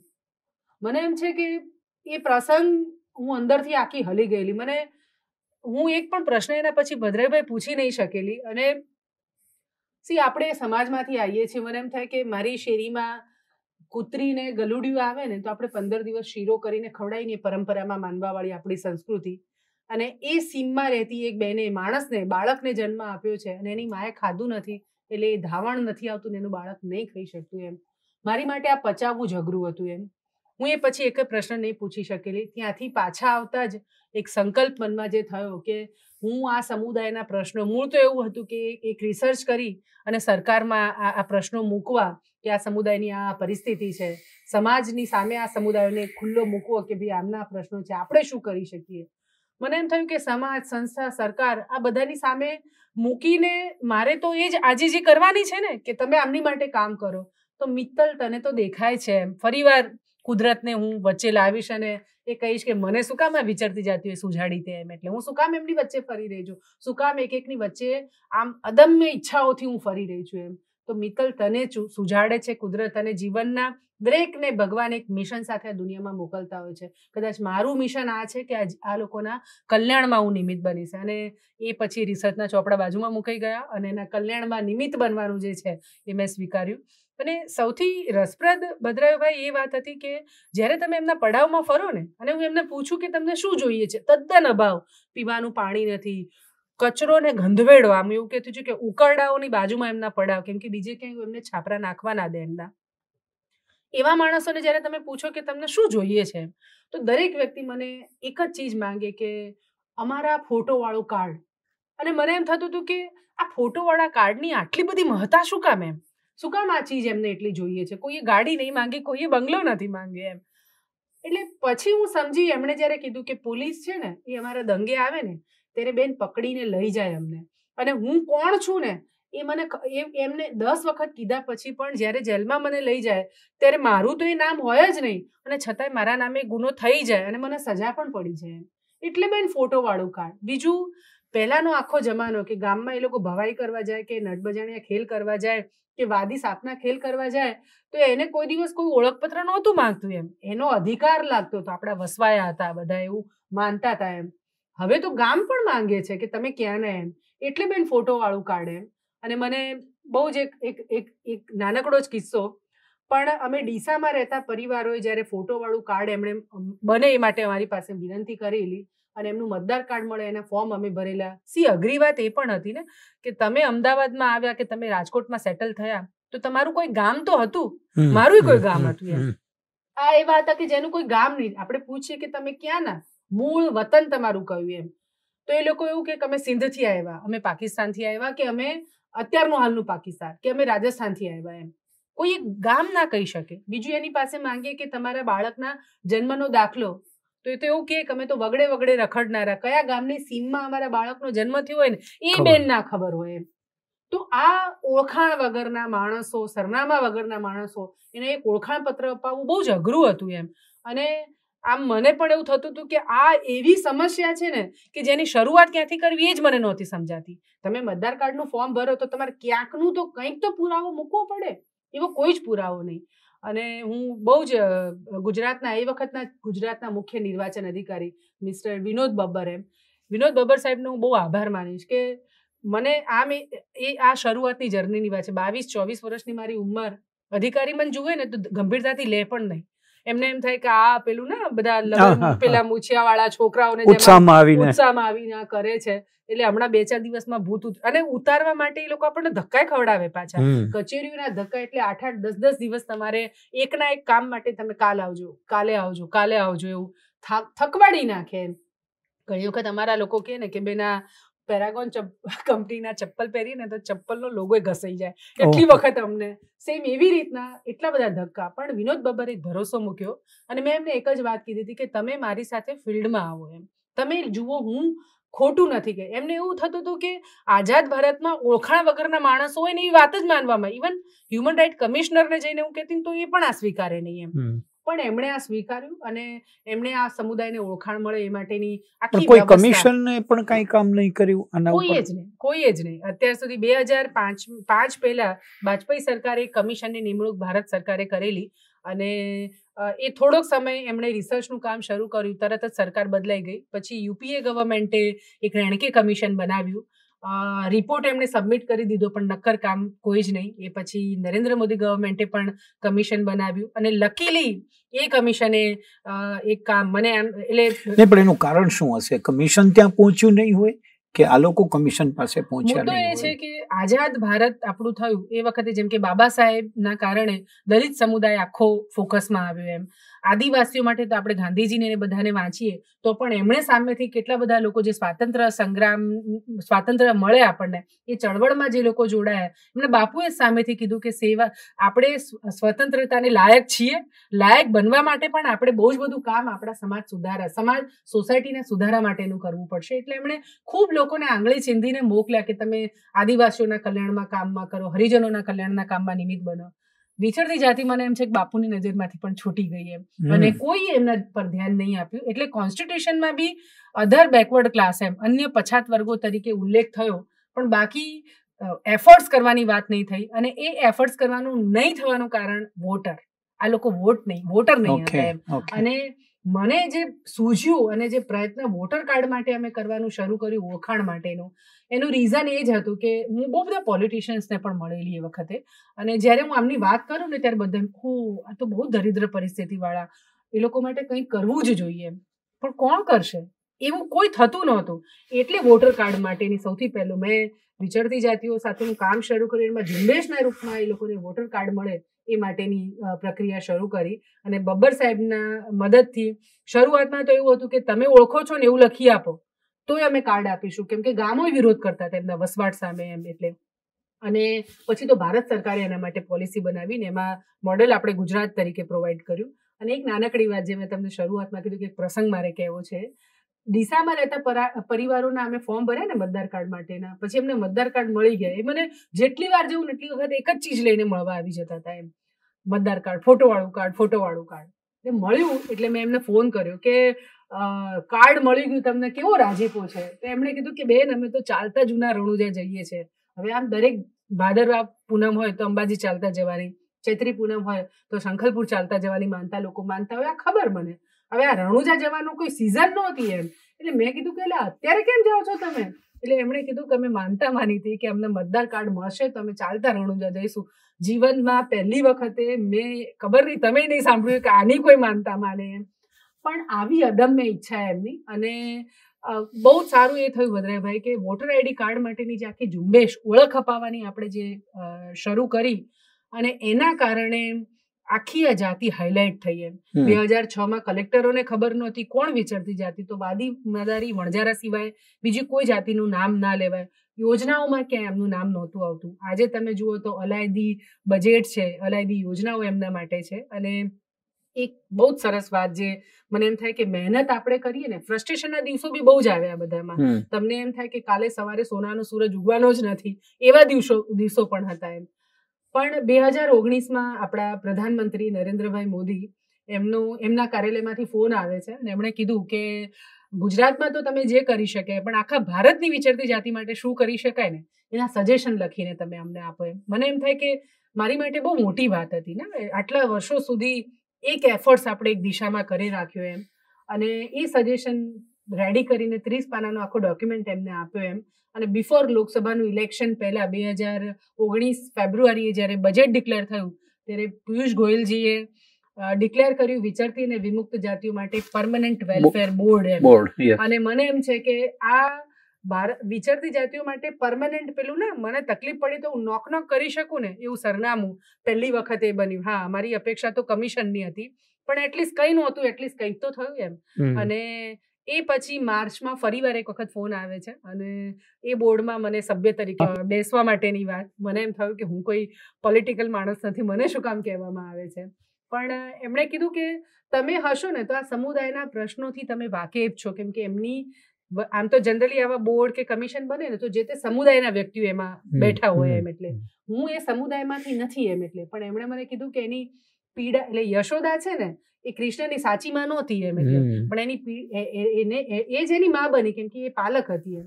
તો મને ક્યાંક ઉદાહરણ આપ્યું કે તમે એમના પ્રશ્નોને સાચી રીતે જાણો છો સમજો છો તો તમે આખા ભારતના કલ્યાણમાં નિમિત્ત બની શકો અને પછી મેં સ્વીકાર્યું એમ.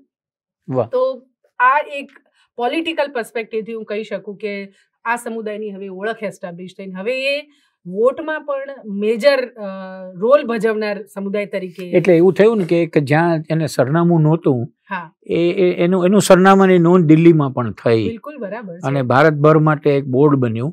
એટલીસ્ટ તમારા પ્રશ્નો રજૂ કરવા માટેનું એક સ્થાનક મળ્યું. અને સ્થાનક માટે નિમિત્ત મિત્તલે બનવું પડ્યું. એટલે સંકલ્પપુરથી તોફાની મૂડમાં નીકળેલી મિત્તલ છે એ દિલ્હીના બોર્ડ સુધી તો પહોંચી ગઈ છે. બિલકુલ.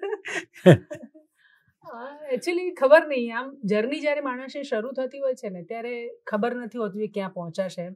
પણ મને એમ છે કે એક લક્ષ્ય તમારા મનમાં અને તમારો ધ્યેય નિશુ એટલે પેલું કે ને ગાંધી જે જે કહેતા એ પ્રમાણે કે શુદ્ધ વિચારો સાથેની વાત જે છે તો તમે એ પહોંચી શકો. અને મહેનત હું એ બહુ દ્રઢપણે માનું છું કે કોઈ પણ ક્ષેત્રમાં મેં જે તમને કહ્યું કે ફ્રસ્ટ્રેશન એટલા બધા હતા મને યાદ છે કે હું બાપુ પાસે માધવભાઈ અમારા પછી તો અમે બે હજાર દસમાં પણ અત્યાર સુધીની લગભગ જર્ની આ બોર્ડ સિવાયની જે આવી એ તો ફ્રસ્ટ્રેશનની જ આવી. હા બિલકુલ એટલે ઘણી વખત આ સંવાદમાં ઘણા લોકોને એવું લાગે કે આ તો બહુ ગંભીરતા વાળો સંવાદ ચાલે છે.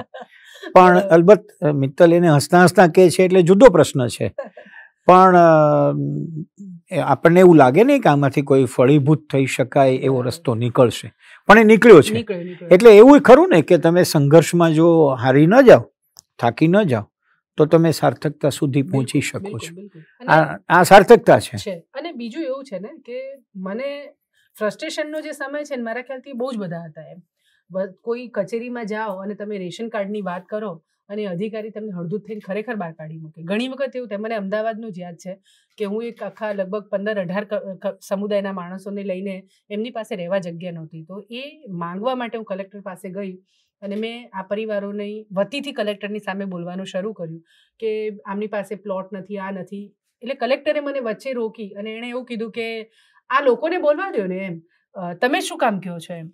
અને મેં એમને કીધું કે જરા કે કલેક્ટરે થોડા ઊંચા ટોનમાં કીધું આ રહ્યું પછી મેં કીધું કે ઠીક છે, એ લોકો બોલશે. એટલે મેં આ લોકોને કીધું કે તમે કહો ને? તો મારા મણિકાકા છે, અનવરભાઈ છે, એમણે આમ હાથ જોડ્યું અમારે તો કાંઈ નથી જોયું તું એમ. તમે જુઓ, અને એ સીધા બધા જ, હું ઊભી જ છું હજી, અને કલેક્ટરની કચેરીનો દરવાજો ખોલીને બધા બહાર નીકળી ગયા. મને થયું આમ એટલું, આમ પેલું ને, એ વખત થોડો કીગો પણ આપણો હોય, થોડું એમ થાય કે હું ભોંઠી પડી. એમ લાગ્યું હશે કલેક્ટરને કે હું આમને તૈયાર કરીને લઈ આવી છું આ બધું એમ. હું નીચે ગઈ, કશું જ બોલ્યા વગર એમ, અને મેં એમને કીધું, કાચ પછી મારે કરવું જ નથી આ બધું કામ એમ. તમે સમજતા જ નથી આ બધી ચીજોને લઈને એમ. પછી એક ઉંમરવાળા કાકા હતા, મણી કાકા, એમણે જ મને કીધું, મને કે, બેન, અમને માફ કરી દો એમ. અમે છે ને, અમે કોઈ દિવસ બોલ્યા જ નથી કોઈની સામે એમ. એટલે અમને બીક બહુ લાગે છે એમ. અને થોડી વાર માટે મને પણ થયું કે આમાં મિત્તલ મોટી થઈ ગઈ ને એટલે પ્રોબ્લેમ છે. મિત્તલ મોટી ના થઈ હોત તો આ ઈગો ક્યાં આવવાનો હતો એમ? સો આવા અનેકો પ્રસંગ. અમુક વખત એવું થાય કે રેશન કાર્ડની વાત લઈને હું ગઈ હોઉં અને અધિકારી સાંભળવા તૈયાર ના થાય. એક મને અમદાવાદનો જ કિસ્સો યાદ છે કે એક આખી વસાહત ફૂટપાથ પરની સિત્તેર વર્ષથી રહેતા લોકો ખાલી કરી નાખી એમ. હું કમિશનર પાસે આ પરિવારોની રજૂઆત લઈને ગઈ. એક બેન રડતા રડતા એણે કીધું કે સાહેબ તમે કોઈ દિવસ ફૂટપાથ પર રહ્યા છો એમ? મારી જુવાન દીકરીઓ છે એમ, અને ફૂટપાથ પર અમે છીએ ને, હું પતિ પત્ની અમે વારા કરીએ છીએ રાત્રે સુવાના એમ. કે, કેમ કે રાત્રે કોઈ અગર વાહન લઈને આવ્યું, મારી દીકરીનું મોઢું દબાવી અને વાહનમાં લઈને જતું રહ્યું, તો અમે ક્યાં એને શોધતા ફરીએ. અમારી ક્યાં એની પહોંચ છે. ભદ્રાભાઈ હું તો આટલા વર્ષોથી એમની વચ્ચે હતી. મને પણ કોઈ દિવસ આ ખ્યાલ નહોતો એમ. સાવરકુંડલામાં હમણાં ત્રણ જ વર્ષની દીકરી છાપરામાંથી આવી જ રિક્ષાવાળો ઉપાડીને લઈ ગયો, એને રેપ કરી, રેપ કર્યો એનો અને નદીના ભાઠામાં એને નાખી દીધી એમ. તો આ બહુ એટલે પાક્કા ઘરમાં રહેવાવાળા, આપણને આ બધાનો અહેસાસ જ ન થાય એમ. અને આ વાત એ બેન કહે છે, એ રડી ગઈ સાંભળીને, હું પણ એકદમ ઢીલી થઈ ગઈ.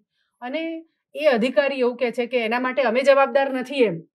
અને આવા તો કેટલાય લોકો આવીને રહે, અમે બધાનો કે ઠેકો લઈ લીધો છે. મને એમ થાય કે આવું બોલે ને ત્યારે એટલો બધો કાળ ચડે એમ મનમાં અને મને એમ થાય કે આ દેશના એ નાગરિક છે, આપણા ભાઈ બહેન છે, કેમ આપણે આવું ના વિચારી શકીએ એમના ભલા માટેની વાત?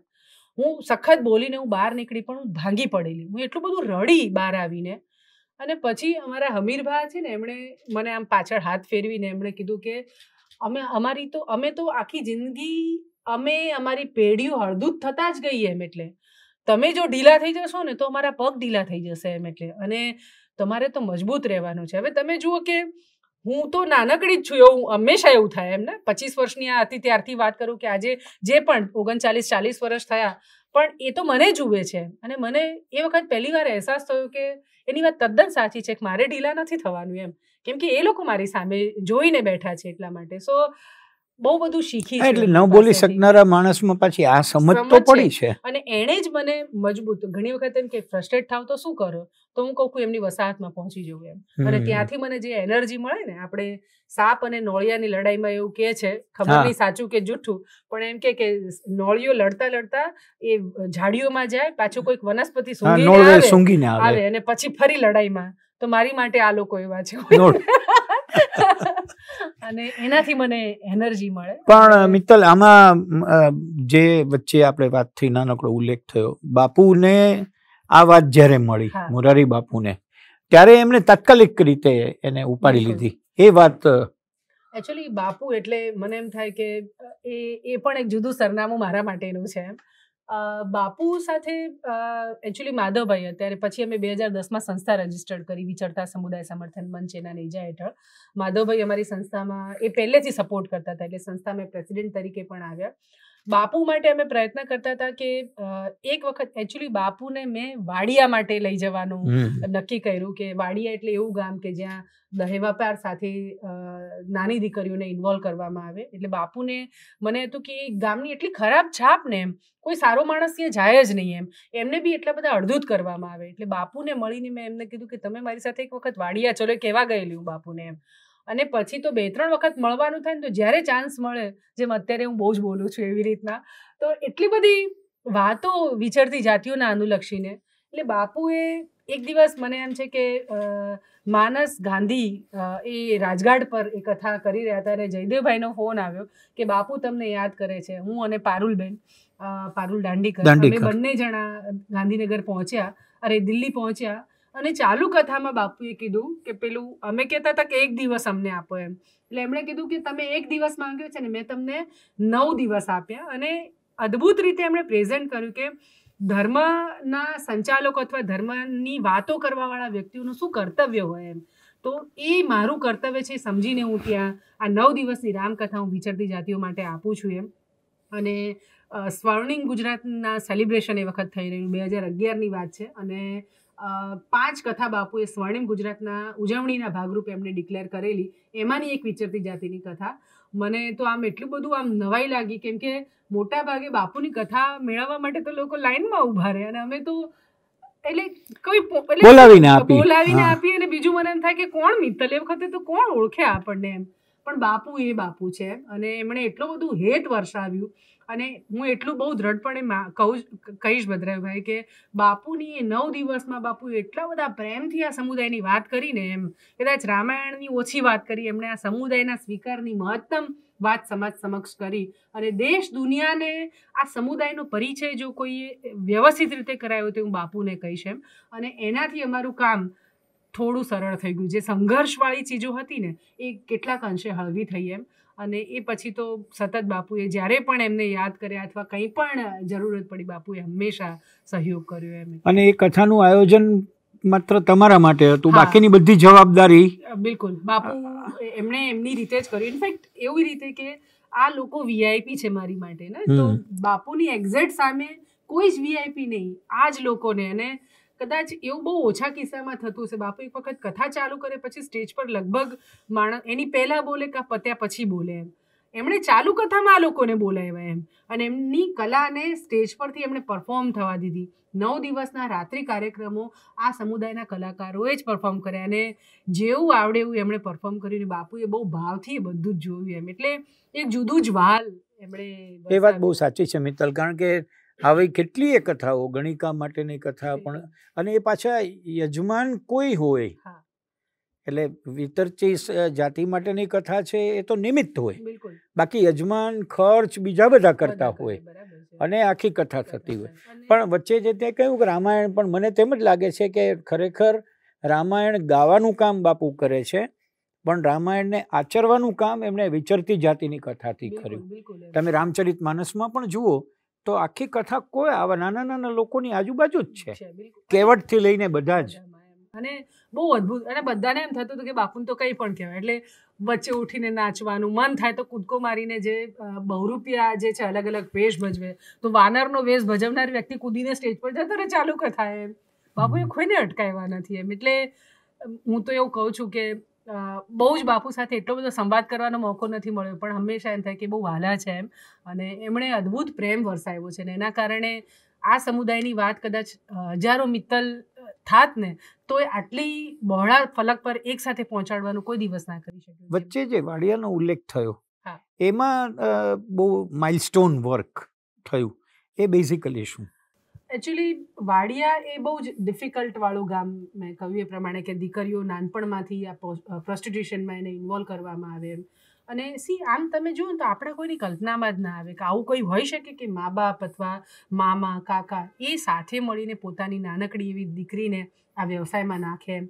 મગજ શૂન્ય થઈ જાય વિચારીએ તો પણ. મેં છાપામાં વાંચેલું ને ગામ હું પહોંચેલી અને હું એવું બહુ દ્રઢપણે કહીશ ભદ્રાયુભાઈ કે હું વાડિયાથી જઈને પાછી આવું ને પછી હું સૂઈ ના શકતી, અઠવાડિયું દસ દસ દિવસ સુધી એમ એટલે. અને એ સમય હતો કે હું કોઈને આ ચીજો કહી પણ ના શકું, ના? મૌલિકને કહેવાની વાત આવે તો એ બધી ચીજો ના થતી. ઇનફેક્ટ મને યાદ છે કે મારી પ્રેગ્નન્સી વખતે હું સતત એ કહેતી કે મને આના વિચારો પણ ના આવે ના? હંમેશા એક થાય કે માં સારું વિચારે તો બચ્ચું તંદુરસ્ત થાય. એવું આ ગામ એમ. અને એમની એક પ્રથા, મેં જો કે સાયલેન્ટલી એ ગામમાં ગયા પછી ઘણા બધા લોકોએ પ્રયત્નો કર્યા તે ગામના ડેવલપમેન્ટ માટે. આમ કહું તો સુધારા માટે. પણ મને આ શબ્દ જ બહુ મોટો લાગે છે. કોઈને સુધારવું એ આપણા હાથની વાત હોતી નથી ને આપણે કોઈને સુધારી ના શકીએ. પણ અમે જે કર્યું એ કર્યું કે ગામમાં શું એવી વસ્તુઓ છે કે જે હોવી જોઈએ, જે ત્યાં નથી એમ. એટલે રોડ બનવાની વાત હોય, પાણીની વાત હોય, ખેતી ત્યાં નહોતી થતી તો ખેતી કેવી રીતે થાય? અલગ અલગ અને હું એવું માનું પણ છું કેમ કે એક સ્ત્રી છું એટલે કે કોઈ પણ માં સામે ચાલીને એને મજા પડે એટલે પોતાની દીકરીને આ વ્યવસાયમાં નાખી એવું ના હોય એમ એટલે એની પણ મજબૂરી છે. તો એ મજબૂરીને કોઈક રીતે હળવી કરવાનું કામ આપણે કરીએ. અને એ બધું કરતા કરતા મારો વિરોધ જનરલી ત્યાં નહીં થયો બિકોઝ અભિગમ આપણે જે છે તે ગામના ડેવલપમેન્ટનો આખો અપનાવ્યો એટલા માટે. અને બહુ જ અઘરું હતું પણ જ્યારે અધિકારીઓ સામે અમે આ ચીજો મૂકતા તો અધિકારીઓ પણ એવું કહેતા હતા કે એ ગામમાં તો રોડ બિલકુલ બનાવાય નહીં. નહીં તો રોડ બનાવશું ને તો એ લોકો બધા બહાર આવી જશે એમ. એટલે મને એમ થતું કે આ આ આમ પેલા તોફાની ઢોરવાળે પૂરેલા ઢોર છે કે બહાર આવી જશે તો બધું ખેદાન મેદાન કરી નાખશે. આવી વિચિત્ર માનસિકતા. પણ એ બધા વચ્ચે આ કામો થયા. એટલે દેહ વિક્રય એ ત્યાં સ્વીકૃત બાબત સ્વીકૃત બાબત એમ. અને દીકરી જન્મે ને તો જનરલી એનું માઇન્ડમાં એ ફિટ જ કરવામાં આવે કે ભાઈ એને મોટી થાય ને એટલે આ જ કરવાનું છે. એટલે એને પણ ખબર જ નહોતી કે આ ના હોય એમ. હવે બે હજાર બારમાં પહેલી વખત એવું થયું કે આટલા બધા ડેવલપમેન્ટના કામો થયા ત્યાં આગળ. અને એમની એક ટ્રેડિશન છે પરંપરા કે દીકરીની અગર સગાઈ કે લગ્ન થઈ જાય ને તો આ વ્યવસાયમાં ન જાય એમ. એટલે બે હજાર બારમાં પહેલી વખતે ગામના લગભગ છત્રીસ સાડત્રીસ મા બાપોએ એવું કીધું. ઘણી બધી દીકરીઓ એવી પણ હોય કે જેના બાપ ન હોયમાં જ હોય એમ એવી રીતના કે અમારે અમારી દીકરીઓને પરણાવી છે. અને મારા ખ્યાલથી મારા માટે જીવનનો જેમ બાપુએ કથા આપી સવર્ણ સમય મોદી સાહેબે બોર્ડ બનાવ્યો એ સવર્ણ સમય એવી રીતે આ કથા અરે લગ્ન માટેની વાત થઈ. એ એટલો મોટો આમ સમાચાર મારી માટે અથવા આનંદની લાગણી એમ. અને પણ એ વખતે પહેલી વખત અમે દલાલોના વિરોધમાં આવવાનું થયું. કેમ કે એ લોકોને અત્યાર સુધી કોઈ વાંધો નહોતો અમારા. ગામમાં વિકાસના કામો થતા હતા એટલે. પણ પહેલી વખત એમને થયું કે જો ગામમાં દીકરીઓના લગ્ન થવાનું શરૂ થઈ જશે તો પછી આ વ્યવસાય કોણ કરશે એમ એટલે. એટલે એક થ્રેટ એમને. અમારા કાર્યકર ત્યાં હતા શારદાબેન એમની એમના ઉપર થ્રેટ અમને ફોન કરીને ગંદી ગાળોથી લઈને બધું બહુ જ ખરાબ એમ. પણ એ વખતે અગેઇન મોદી સાહેબે સપોર્ટ કર્યો. મેં એમને એક પત્ર લખેલો એ વખતે અને મેં એવું કીધું કે ગુજરાત અગર વિકાસ, બહુ સારો વિકાસ થયો છે એનો અને એને, એના માટે તમારી બહુ જ મહત્ત્વની ભૂમિકા છે. પણ સોનાની થાળી અગર ગુજરાત છે ને, તો બાડિયાએ લોઢાની મેઘ છે એવું કરીને લખેલું અંદર. રોજ સાથે કેમ કે કોઈ સપોર્ટ નહોતું કરતું એટલા માટે. આઈ થિંક ત્રીજા ચોથા દિવસે પત્ર એમને પહોંચ્યો હશે અને પછી આખું વહીવટી તંત્ર અમારી માટે ખડે પગે પોલીસે પ્રોટેક્શન આપ્યું. પણ લગ્નના દિવસ સુધી ભદ્રાઈભાઈ મને ખબર નહોતી કે ખરેખર કેટલી દીકરીઓ પરણમાં આવશે. છત્રીસના નામ નોંધાય. કેમ કે ફોર્સ બે બાજુ હતા. અને વીસ દીકરીઓના પહેલી વખતે ત્યાં લગ્ન થયા એમ. હા તે જ ગામમાં. અને હવે તો એ પરંપરા શરૂ થઈ કે દર વર્ષે દીકરીઓ હવે ત્યાં પર પરણવા માંડી છે. ઘણા બધા ફેમિલીથી આમાંથી બહાર નીકળી ગયા છે. ખેતી કરતા થઈ ગયા છે પશુપાલન કરતા થઈ ગયા છે. નાના મોટા બીજા વ્યવસાય સાથે સંકળાઈ સંકળાયા છે. પણ આ આખું કામ હજી બીજા પચાસ વર્ષ સાહીઠ વર્ષ માંગી લેતું કામ છે. આખા ચેન્જ માટેનું જે આપણે ઈચ્છીએ છીએ. પણ ભણતરનું પણ ભણાવવાનું પણ એમના બાળકો અમારી ત્યાં હોસ્ટેલમાં ભણતા થયા છે. મેડિકલમાં જાય એવી દીકરીઓ પણ છે છોકરો એમબીએ થયો છે ત્યાં આગળથી ગ્રેજ્યુએટ ઘણા બધા છોકરાઓ થયા છે. એટલે આખું પણ હવે પોતાની પોતાના રાજીપાથી જ મોકલે છે એવું છે કે ના? એમાં બચ્ચાઓને હા આપણે ત્યાં ભણવા તો થોડા જબર ઇવન આમ એમાં ખાલી વાડિયા નહીં. પણ આપણી જે હોસ્ટેલ ચાલે વિચરતી જાતિના બચ્ચાઓ વિચરતી જાતિને હવે તો તમામ વંચિતની વાત આપણે કરીએ. પણ એમાં તો વિચરતી જાતિના આ બધા બચ્ચાઓને દંગામાંથી હું ઉપાડી આવતી એમ. મા બાપને ધમકાવીને. કેમ કે છૂટી નહીં ને એમનાથી એમ. તો બાડિયામાં ક્યાંક શરૂઆતમાં એવું કરવું પડ્યું. પણ હવે મરજીથી બધા મૂક હવે તો એવું થઈ રહ્યું છે કે આપણી હોસ્ટેલની કેપેસિટી બહુ મોટી નથી એમ. તમે આવ્યા છો બહુ નાનકડી જગ્યામાં હોસ્ટેલ ચાલે. તો જૂન મહિનો આવે ને એક સમય હતો કે જીપમાં હું લિટરલી ભરી ભરીને લાવતી હતી બાળકોને ને મા બાપને ધમકી આપીને કે જો ખબરદાર મહિના સુધી તો કોઈ પૂછવા આવ્યા છો તો બાળકને ક્યાં લઈ જાઉં છું? અને મને એમ થાય કે સારું છે મા બાપે મારી ઉપર એટલો ભરોસો રાખ્યો નહીં તો કોઈ કાંઈ પણ કરી શકે. અને ડર એટલો બધો એમને પણ એ પ્રેમનો ડર એમ. એટલે ફોન પણ ના કરે. હવે એવું થાય છે કે તમારી આ હોસ્ટેલ છે ને એની બાજુમાં બેન નાનકડી જગ્યા છે બે ચાર છાપરા વાળી લેજો ને પણ મારા બાળકને રાખો તમે એમ. આ આખો ચેન્જ હવે એવું કહી શકાય એમ. અને એનું જ એક એક્સટેન્શન જ્યાં તમે પણ જોડાવાના છો. પાનસર ગાંધીનગરની બાજુમાં એક જગ્યા લીધી છે ચંદ્રકાંતભાઈ ગોગરી. એમણે એ ડોનેશનમાં જગ્યા આપી છે ઓગણત્રીસ વીઘા.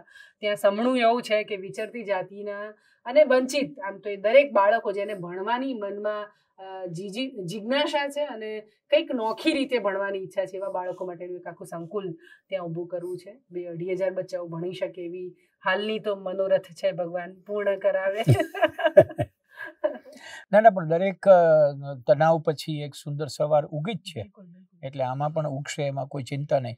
પણ જે હોસ્ટેલની વાત થઈ અને હવે આપણે નવા પરિસરમાં જવાનું વિચારીએ છીએ એ એના માટે બધો આર્થિક સહાય કે એ મળી રહે છે એવી રીતે? પ્રયત્ન કરવાનો છે સમાજ પાસેથી. આટલું ઇવન ખાલી હોસ્ટેલ બાળકોની સિવાય આપણે આ સમુદાયના લોકોને પગભર થવા માટે વગર વ્યાજે લોન આપતા હોઈએ છીએ. ચાર હજારથી વધારે પરિવારોને આપણે એના નાના મોટા વ્યવસાય, કેમ કે હવે એમના પરંપરાગત વ્યવસાયો પડી માંગ્યા છે. નવું શું એ એમને ખબર નથી, પણ આવડત છે એમનામાં. તો એ કામ, એવા હવે સંસ્થાગત રીતે ખાસ્સા બધા અલગ અલગ પ્રકારના કામો કરીએ છીએ. એમના ઘર બાંધવાથી લઈને જુદા જુદા પ્રકારના કામો. દરેક વખતે સમાજ પાસે ભિક્ષામદેહી કરીને ઊભું રહેવાનું છે અને એટલું છે કે કુદરત પર મને પૂર્ણ શ્રદ્ધા છે અને મને ક્યાંય અવિશ્વાસ પણ એના માટે નથી એમ. મને એવું છે કે મનમાં નિશ્ચય કર્યો છે અને હું રોજ સૂતા પહેલાં એક પ્રાર્થના ભગવાનને એટલી કરું છું કે જો કાલ સવારે તું મને ઉઠાડીશ ને, તો તે સોંપેલા કાર્યને વધારે સારી રીતે અને વધારે ઉજળું થાય એ રીતે હું એને કરીશ એમ. બાકીની ચિંતા તારે કરવાની છે. અઢી હજાર બાળકોનો સંકલ્પ એ સપનું જોવામાં પણ ક્યાંક એનો જ દોરી સંચાર છે એવું મને લાગે. કોઈ પણ કામ માટે. એટલે સંપૂર્ણપણે પ્રયત્ન ડેફિનેટલી આપણે સમાજ પાસે જ કરવાનો છે. પણ બાકી મને વિશ્વાસ કુદરત પર છે. એટલે આપણે આ સંકુલના કામ માટે પણ બહુ જ બધા એવા સમાજના શ્રેષ્ઠીઓ છે જેમની પાસે જઈશું ને માંગશું તો મને એમ લાગે છે કે ના નહીં પાડે મને થઈ જવાનું સાથે સાથે મિત્તલ જે એક પર્યાવરણ સંબંધી કામ પણ બહુ સરસ રીતે ઉપાડેલું છે. અને હવે એ ભાવના લોકોમાં પણ આવી રહી છે. કદાચ એ પહેલો વિચાર મિત્તલના મનમાં આવ્યો. પણ હવે એ લોકોએ પણ પાછું ઉપાડી લીધું જેમ ભણતરમાં બન્યું એમ જ. એ એ કયું કામ આપણે મુખ્ય કરી રહ્યા છીએ? એકચ્યુઅલી બનાસકાંઠામાં મેં બે હજાર સત્તર અને પંદરમાં બહુ જ મોટું પૂર આવેલું હા બહુ મોટું. અને આમ બનાસકાંઠા તો કન્ટિન્યુઅસ જવાનું થાય. ગુજરાતના બાવીસ જિલ્લાઓમાં કામ બીજે બધે પણ જવાનું થાય. પણ ત્યાં મેં સતત જોયું કે આટલું બધું અને આખો વિસ્તાર ડ્રાય રાજસ્થાનને અડીને આવેલો વરસાદ પણ ઝાઝો પડે નહીં. બોરવેલની ટેકનોલોજી ત્યાં આવી એટલે ખેતી કરતા લોકો થઈ ગયા. સમૃદ્ધિ આપણને એક રીતે દેખાય ત્યાં આગળ. બાકી પહેલા એવું કહેતા કે બનાસકાંઠામાં થરાદ વાવ સુઈગામ ભાભરા વિસ્તારમાં કોઈને નોકરી મળે ને તો પનિશમેન્ટ પોસ્ટ કહેવાતું એમ. તો અને હવે ખેતી કરતા થઈ ગયા લોકો. પૂર વખતે મેં જેટલા અને પૂછ્યું કે ભાઈ બોર કેટલા ફૂટે તમારા? તો લગભગ જે પ્રમાણ નીકળે આઠસો અગિયારસો બારસો તેરસો ફૂટ સુધીના. હવે આપણે જાણીએ છીએ કે તળમાં એનાથી નીચે તો પાણી કેટલે કેટલેથી લાવશો એમ તમે? અને રિચાર્જના કામો છે એ બહુ થાય જ નહીં એમ. આ પૂર વખતે એટલું મબલક પાણી આવ્યું કદાચ એ બધું જો આપણા વાસણો એટલે તળાવો કે એ વ્યવસ્થાઓ સાબદી હોત તો આપણે બીજું પચાસ વર્ષનું પાણી સ્ટોર કરી શક્યા હોત એવું મને લાગ્યું એમ. અને બીજું સૌરાષ્ટ્રમાં મેં જોયેલું કે પાણીના કારણે જ માઇગ્રેશન ખૂબ થયું. ત્યાં આગળ પણ એમ. એટલે મને થયું કે ફરીવાર આફત આવે એટલે જ આપણે જાગીએ. એની કરતાં પાણી પહેલા પાળ બાંધવાનું આપણે કેમ ન કરીએ? એટલે અમે જળ સંચયના કામ અને હું ગુજરાતના બધા જ વિસ્તારોમાં એટલા માટે નથી કરી રહી ભદ્રાભાઈ કે એક જિલ્લાને મારે મોડલ કરવું છે એમ. અને એ મોડલ છે ને એ હંમેશા પરફેક્ટ બને ને તો બીજી જગ્યાએ એને આરામથી આપણે અમલી કરી શકીએ એમ. એટલે એક ડિસ્ટ્રિક્ટ તરીકે થોડો અઘરો જિલ્લો પણ છે એટલે એને પસંદ કર્યો એમ. એટલે અમે ત્યાં તળાવોના કામ શરૂ કર્યા છેલ્લા સાડા ચાર વર્ષથી. અને એકસો આડત્રીસ તળાવો અમે ઊંડા કર્યા. બોરવેલ રિચાર્જનું કામ પણ અમે ત્યાં શરૂ કર્યું.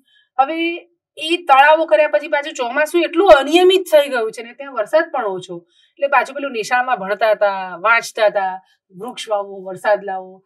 અને મને થયું કે સાચી વાત છે, પર્યાવરણના કામોમાં વૃક્ષોનું મહત્વ તો આપણે ઘટાડી જ દીધું છે. અને ખાલી વરસાદ માટે જ નહીં, તમે આમ ચબૂતરા ગામે ગામ બની રહ્યા છે. પણ એ ચબૂતરો ખરા અર્થમાં એમાં કેટલા પક્ષીઓ રહે છે. એમાં કબૂતરને વધારે ગમે હોલાને વધારે ગમે. બીજા બધા પક્ષીઓને તો ગમતું એમાં નથી ગમતું એને બાંધી આપેલું આપણું ઘર એમ.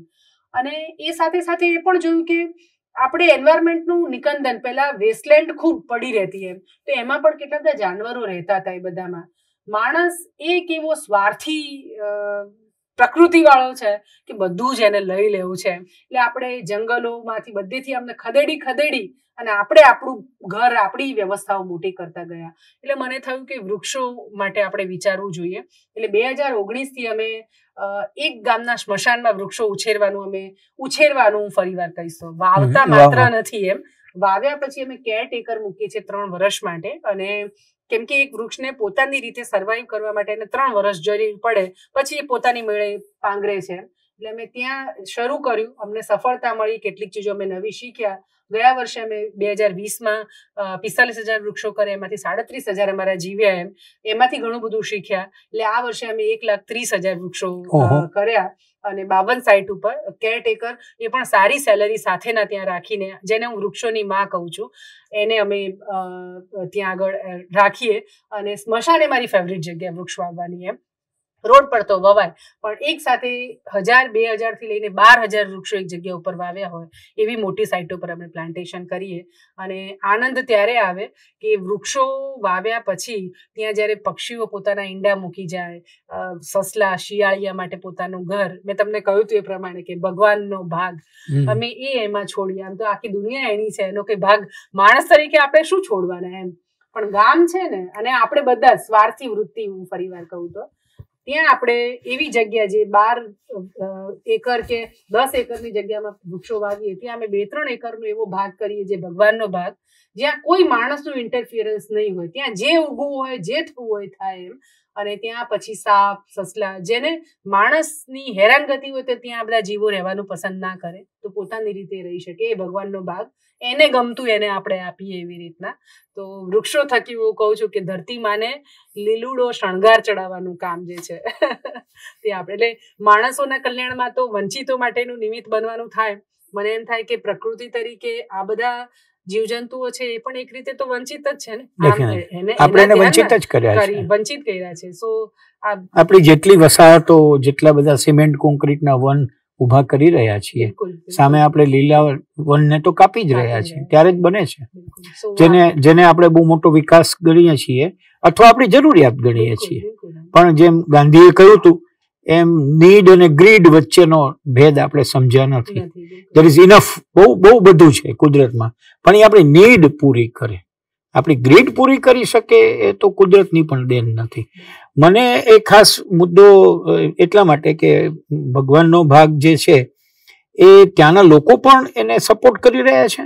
શરૂઆતમાં બહુ જ એમ થતું હતું. ના મેં કીધું ને આ તો છોડવાની વાત કોણ કરે? જનરલી સરકારની જગ્યા હોય ને એને ગામોમાં વાળીને લોકો ત્યાં ખેતી કરતા થઈ ગયા છે એટલે એમને પણ ગામને અમે કન્વિન્સ કરી શકીએ એ રીતે. અને મને એમ છે કે ડાયલોગ કરવું ને એ સૌથી હું કમ્યુનિકેશનની વિદ્યાર્થીની છું અને કમ્યુનિકેશનમાં બહુ માનું છું. એટલે ગામના લોકો સાથે અમે આ વાત કરતા થયા અને હું કહું કે મંદિરો તો આપણે બાંધવા માટે ફાળો ઉઘરાઈએ ને તો કરોડો રૂપિયા ફાળો ભેગો થઈ જાય છે. આ ભગવાન વૃક્ષ મંદિર માટે આપણે કેમ જાગતા નથી એમ એટલે. અને પછી ધીરે ધીરે એ લોકોને પણ મેં તું માનતા માનો ને. માનતા આની પણ હોય કે મારું ઘરે બધું હેમખેમ પાર પડ્યું તો હું ચાર વૃક્ષ વાવીશ એવી રીતના કરીને. સો હવે ધીરે ધીરે લોકો કન્વિન્સ થતા થઈ ગયા છે ભગવાનના ભાગને. પણ માન થઈ ગયા છે. અને મને લિટરલી એવી બહુ જ અભ્યર્થના અને ભગવાને મનોરથ ફરીવાર કહું તો પૂર્ણ કરાવ્યું કે લોકો વૃક્ષ મંદિરોની માનતા માને કે દરેક ગામમાં એક વૃક્ષ મંદિર હોય. એમ પાંડુરંગ શાસ્ત્રીજી છે એમણે આ કોશિશ કરેલી અને ઘણી જગ્યાએ થયું છે. પણ આને મને એમ છે કે એક મુહિમ એટલે એમાં જે સીમો સીમા બંધાઈ ગઈ હતી. કે વૃક્ષ મંદિર એટલે અમુક જ એમ નહીં પણ આ તો પોતપોતાની રીતે સૌ. દરેક દલિત સમાજનું સ્મશાન હોય કે કોઈનું પણ હોય એ બધામાં. ઇનફેક્ટ આનું સારી પાસું એ થયું છે ભદ્રાભાઈ કે કોમન સ્મશાનમાં આવતા થઈ ગયા છે લોકો.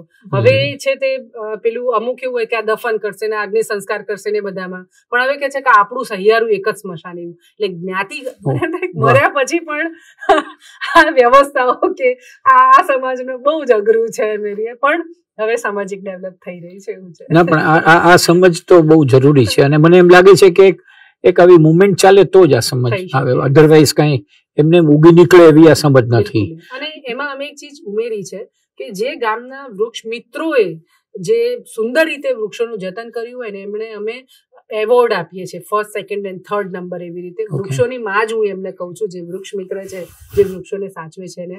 અને સારી એવી ધનરાશિ એમને. એટલે એકાવન હજાર રૂપિયા ફર્સ્ટ પ્રાઇઝ અને પછી એવી રીતે આપીએ છીએ. એના કારણે પણ પેડ લોકોને? પેડ હા. જે વૃક્ષ જનરલી કેવું હોય આમ તમે આ સરકારની વાત કહો કે કોઈ પણ જગ્યાએ એમ્પ્લોયની વાત કરીએ તો મુખ્ય વ્યક્તિ જે હોય ને એ જ ઓલવેઝ આગળ હોય છે એમ. નાનો માણસ છે એની ક્યાંય વાત નથી થતી. અમારા વૃક્ષ મિત્ર એટલે ગામમાં તો મંડળી બની છે વૃક્ષ મિત્ર એટલે સરપંચ કે બીજા આગેવાનો છે એની જ વાત હોય. પણ આ વૃક્ષ મિત્ર જે મેઇન ખરેખર છે એનું આવી રીતે સન્માન થાય તો એક પોરસ એને ચડે. અને આ વખતે જેમ અમે આ કાર્યક્રમ કર્યો અને આ વખતે અમારા તેતાલીસ ત્રેપન ગામોમાં જે વૃક્ષો ઉછેરાય બધા લોકોને બોલાવેલા. બધા જ ગયા ને ત્યારે કહી ગયા આવતા વખતે દીદી અમારો વારો છે આ સ્ટેજ ઉપર એમ. મને એમ છે કે સાર્થક થઈ ગયું એમ એટલે. સો પ્રોત્સાહન દરેકને પણ બહુ સુંદર વાત આપણે થયેલી હું અહીંયા ફરીવાર કોટ કરું કે ધ મધર છે એ બહુ સુંદર વાત કરે છે કે caretaker is not a good word it is a word but it it should be called caregiver exactly કારણ કે તમે કેર એટલે you are not taking but you are giving બરાબર છે. અને ખરેખર આ તો પોતાના ઈચ્છાથી જોડાયેલા લોકો છે. અને તમે તો પાછા કે ગીવરને પણ પાછું કશું એવોર્ડ આપો છો. એટલે you are superior caregiver as an institution મને થોડીક એ વિગત જાણવી છે કે તમારું આટલા બધી જગ્યાએ જે વિચરતી જાતિના લોકો છે. ત્યાં સુધી પહોંચવાનું નેટવર્ક શું છે? કારણ કે મિત્તલ તો છે જ પણ નેટવર્ક તો જોઈશે જ. ગામે ગામે કોઈ કાર્યકરો હશે? એ પાછા કાર્યકરો એ જ જ્ઞાતિના છે કે શું છે? તમે માઇક્રો ફાઇનાન્સ કરો છો, તો how how do you know કે આને જરૂર છે? એને તમે કેમ આઈડેન્ટિફાઈ કરો છો? આમાં તમે કહ્યું એ પ્રમાણે બહુ સાચું છે. અમારા ફિલ્ડ વર્કર્સ જ છે બધી જગ્યાએ. એકચ્યુઅલી જ્યારે મેં શરૂ કર્યું ને, ત્યારે મારી સાથે ટીમ નહોતી એમ. પણ એવા કાર્યકરો કે જે હું મિટિંગો ગોઠવું વિચરતી જાતિઓની અને ત્યાં પોતાની મેળે આવે આવ્યા પછી પોતાના સમુદાયમાં જે ભાવના હું વ્યક્ત કરું છું કે આપણે આવું કરવું જોઈએ એ પોતાના સમાજમાં જઈને એ વ્યક્ત કરે એવા લોકોને મેં શોધ્યા કે ભાઈ તમે જ્યારે મને કાંતિશૈન શ્રોફ પૂજ્ય કાકા એમણે સૌથી પહેલા આ કાર્ય વિશે જાણ્યું એટલે કાકાએ કીધું કે મિત્તલ ટીમ લઈને કામ કર. એટલે મેં એમને કીધું કે મારે તો ટીમ કરવી છે પણ મારી પાસે પૈસા નથી એમ. સો કાકાએ એના માટે સપોર્ટ કર્યો અને ટીમ માટે અને મેં જેમને શોધ્યા જે વોલેન્ટિયર જેની પાસે ત્રણ હજાર મહિનાનો પગાર હતો અને ત્રણ હજાર પગારમાંથી એ એટલે મારી પાસેથી પૈસા ને કોઈ ફર્ધર જગ્યા ઉપર કામ કરે, એમાંથી એ પોતાનો સમય અને પૈસા જાતે ખર્ચતા હતા. એવા કાર્યકરોને અમે ટીમ તરીકે પસંદ કર્યા. મોટા ભાગના ફિલ્ડમાં કામ કરવાવાળા વ્યક્તિઓ આ સમુદાયના જેમ અને નેટવર્ક એ કમ્યુનિટીના, એના પછી કમ્યુનિટીના લીડર્સ એમ. જે સમુદાયના આગેવાનો છે, એમના અમે ગ્રુપો બનાવ્યા છે. એટલે જ્યારે લોન આપવાની હોય કે એમના સમાજમાં કોઈ તકલીફની વાત હોય, તો એ લીડર થકી અમારા કાર્યકરોને પહોંચે અને એનાથી અમારી ઓફિસ પર એમ. એટલે હવે મિત્તલ નહીં, પણ ઘણું મોટું સિસ્ટમ આખી લગભગ એંશી લોકોનો અમારો સ્ટાફ થઈ ગયો છે. અને બાવીસ જિલ્લાઓમાં અમે છીએ એમ. એટલે માઇક્રો ફાઇનાન્સ હોય તો હવે એ લોકોને અમે ગૂગલ પે ને આ બધું પણ શીખવીએ છીએ એમ કે એ લોકો સીધું અમને પેમેન્ટ કરી શકે એવી રીતે. અને હવે આ ઓળખાણ વગરના અને સરનામા વગરના બહુ બધા લોકો નથી રહ્યા બહુ જૂજ હશે એમ એટલે. એટલીસ્ટ સરનામું હા પાકું ઘર ને પોતાનું પ્લોટ ના મળ્યું હોય પણ વોટર કાર્ડ રાશન કાર્ડ જનધનમાં એમના બેંકમાં ખાતા ખોલવાનું આ બધી ચીજો હવે એમની થઈ છે. અને એના માટે અમારી આખી ટીમ દિવસ રાત બરાબર જજુમે છે એવું કહી કારણ કે મેં મેં મને ખ્યાલ છે કે ઇવન મોટા મોટા શહેરોની અંદર પણ એક વસાહત હોય જે એમ કે એ લોકો ઘૂસી ગયા છે એમ માનીને. એ અચાનક કોર્પોરેશનના અધિકારીઓ તોડી પાડે છે. તો મને ખ્યાલ છે કે ત્યાં પણ વીએસએસએમના કાર્યકરો પહોંચી ગયા હોય અને બીજે દિવસે એને રાશન પહોંચ્યું હોય એને છાપરા પહોંચ્યા હોય અને એના માટે રજૂઆતો થઈ હોય. અને ત્યાં મિત્તલ ન હોય. છતાં એ વાત થતી હોય છે. એટલે મેં આ સિસ્ટમ વિશે ખાસ પૂછ્યું. અને એટલા સંવેદનશીલ છે ને બધા જ કાર્યકરો મને એમ થાય કે બધા હાથ છે એમ એટલે. અને કોઈક ચીજોમાં થોડી સિસ્ટમ એ પણ થઈ છે ભદ્રાયુભાઈ કે એ લોકો સ્વતંત્ર રીતે નિર્ણય લઈ શકે એ રીતની. અમે વ્યવસ્થાઓ પણ એ રીતે કરી છે કે એમને લાગ્યું કે આ કરવા જેવું છે તો ફ્રીડમ પણ છે અહીંયા આગળ કે કરી શકે. સંસ્થા કે કોઈ વસ્તુ શરૂ કરવા માટે કોઈ એક વ્યક્તિ નિમિત્ત બની શકે. હું એવું માનું છું કે આખા કામ શરૂ કરવામાં ક્યાંક નિમિત્ત હું એક બની એમ. પણ આજે એવા બહુ જ બધા લોકો છે કે જે એ જ ભાવનાથી આની અંદર જોડાયેલા છે. એમાં સૌથી પહેલો પાયો હું કાર્યકરોને ગઈશ અને કોઈ પણ સંસ્થાને જ્યારે મેજર એને માપવી હોય ને કે આ સંસ્થા કેવું કામ કરે છે તો મારો માપદંડ એ છે કે એ સંસ્થામાં કામ કરનારો વ્યક્તિ એ કેટલા વર્ષથી એ સંસ્થા સાથે કામ કરે છે. હું એવું કહું છું કે એનું માપદંડ છે. અમારી સાથે ફિલ્ડની ટીમને હું વધારે કહીશ એમ. એ જનરલી જેટલા જોડાયા છે ને એમાંથી એક બે જણાને બાકાત કરીને બાકી એક પણ વ્યક્તિ સંસ્થામાંથી છોડીને ગયો નથી. કોઈએ મને ક્યારેય પૂછ્યું નથી કે મારું પગાર શું છે એમ એવી રીતે તો એટલી બધી અદમ્ય પેલી જે કહેવાય ને ભાવનાથી એ બધા જોડાયેલા કાર્યકરો અને ક્યારેય રાત્રે એક વાગે પણ એને કીધું કે અહીંયા જવાનું છે તો ક્યારેય એણે મને એવું નથી કીધું કે હું કાલ સવારે જઈશ એમ. રાતના એક વાગે કીધું તો મારે પહોંચવાનું છે એટલે હું પહોંચી શકે એવી રીતના. તો એવી રીતના કામ એકસો આઠ જેવા છે બધા જ કાર્યકરો. પણ એમને એમને જાળવવાનું કામ પણ તમે સારી રીતે કરતા હશો બિલકુલ. એમના બાળકોની ફીસ ભરવા એટલે સ્કૂલની ફી અને એ બહુ સી જનરલી સંસ્થાઓમાં મેં જોયું છે કે આપણે લોકો માટે કામ કરવા માટે એટલી બધી ભાવના હોય અને એમને આપણે બહુ બધું કરવું એમના માટે. પણ જે એસેટ છે ને જે સંસ્થા કોર્પોરેટ બધામાં હું કહું છું કે કોઈ પણ સંસ્થા કે કોઈ પણ કોર્પોરેટ ગ્રુપ છે એના એના કાર્યકરો અથવા એના કર્મચારીઓથી ઉજળું છે એમ એટલે. જેને સાચવવાનું આપણે ભૂલી જ જઈએ છીએ. હું હંમેશા કહું છું કે સેવા કરવાનું કામ કે મિશન મિત્તલે મનમાં નક્કી કર્યું. આ બધા આવ્યા એ ભાવનાથી. પણ એમણે સેવાને સ્વીકારી મનથી સ્વીકારી. પણ એ એના માટે નથી એની પાછળ બી એનું ફેમિલી છે એનું કુટુંબ છે. એને તો એ ધ્યાન અમે બરાબર રાખ્યું છે. અમારા કોઈ પણ કાર્યકરની નાનામાં નાની તકલીફોમાં સંસ્થા સાથે જ હોય એમ. એટલે જ કદાચ એને પૂછવું નહીં પડતું કે મારો પગાર કેટલો એમ. કેમ કે એ લેવલ પર એને એના ફેમિલીની ટ્રીપ કરવાથી લઈને સાથે અમે બધા વર્ષમાં એક વખત બધા બહાર જઈએ. આખી ટીમ અમારી ફિલ્ડ ઓફિસ બધા જ એમ. અને એવા દર બે મહિને અમારા સેશન પણ હોય કે જેમાં બળાપો કોઈકની માટે કંઈક આવ્યો હોય તો એ કાઢી નાખવાનું પણ અમે બરાબર રીતે કરીએ અને દર મહિને રિવોર્ડ આપીએ કે જેનું બેસ્ટ પરફોર્મન્સ થયું છે તો કેશ એવોર્ડ સાથે એને સરસ મજાની એની ભાવના હોય પ્રમાણે એના કપડાં કે વોટ એવર કંઈ પણ એમ. તો એવી ઘણી બધી એમ્પ્લોયી મેં એમ્પ્લોયી એ અને અમારા ત્યાં અમે સ્ટાફ વેલફેર ફંડ ઊભું કર્યું છે જેમાં એટલે વિચરતી જાતિના લોકોને તો વગર વ્યાજે લોન અમે આપીએ જ એમ. પણ કર્મચારીઓને પણ એમને અને એને પર્પઝ બી નહીં પૂછવાનો કે તમારે કેમ જોઈએ છે એમ. પણ એ ભંડોળ અમારું સેપરેટ એમના માટેનું અને હું ફરીવાર કહું છું કે અગર હું સ્ટાફમાં ઇન્વેસ્ટ કરીશ ને, તો મને બાકીનું તો બમણું, તમણું જેટલું પણ કહેવાય મને મળવાનું છે, તો હું એમાં માનું છું તમને સરકાર કોઈ ગ્રાન્ટ આપે એવું બને? નથી હજી સુધી થયું એમ. તળાવોમાં સરકારે અમને થોડો પ્રયત્ન કર્યો બે વર્ષ પહેલા કે તમે અમારી સાથે ત્યાંના કલેક્ટરની લાગણી હતી. કારણ કે એક રીતે જુઓ તો તમે સરકારનું જ આ કામ કરો છો. એક્ઝેક્ટલી બરાબર. જે એમના કર્મચારીઓએ કરવાનું હતું અને નથી થઈ શક્યું.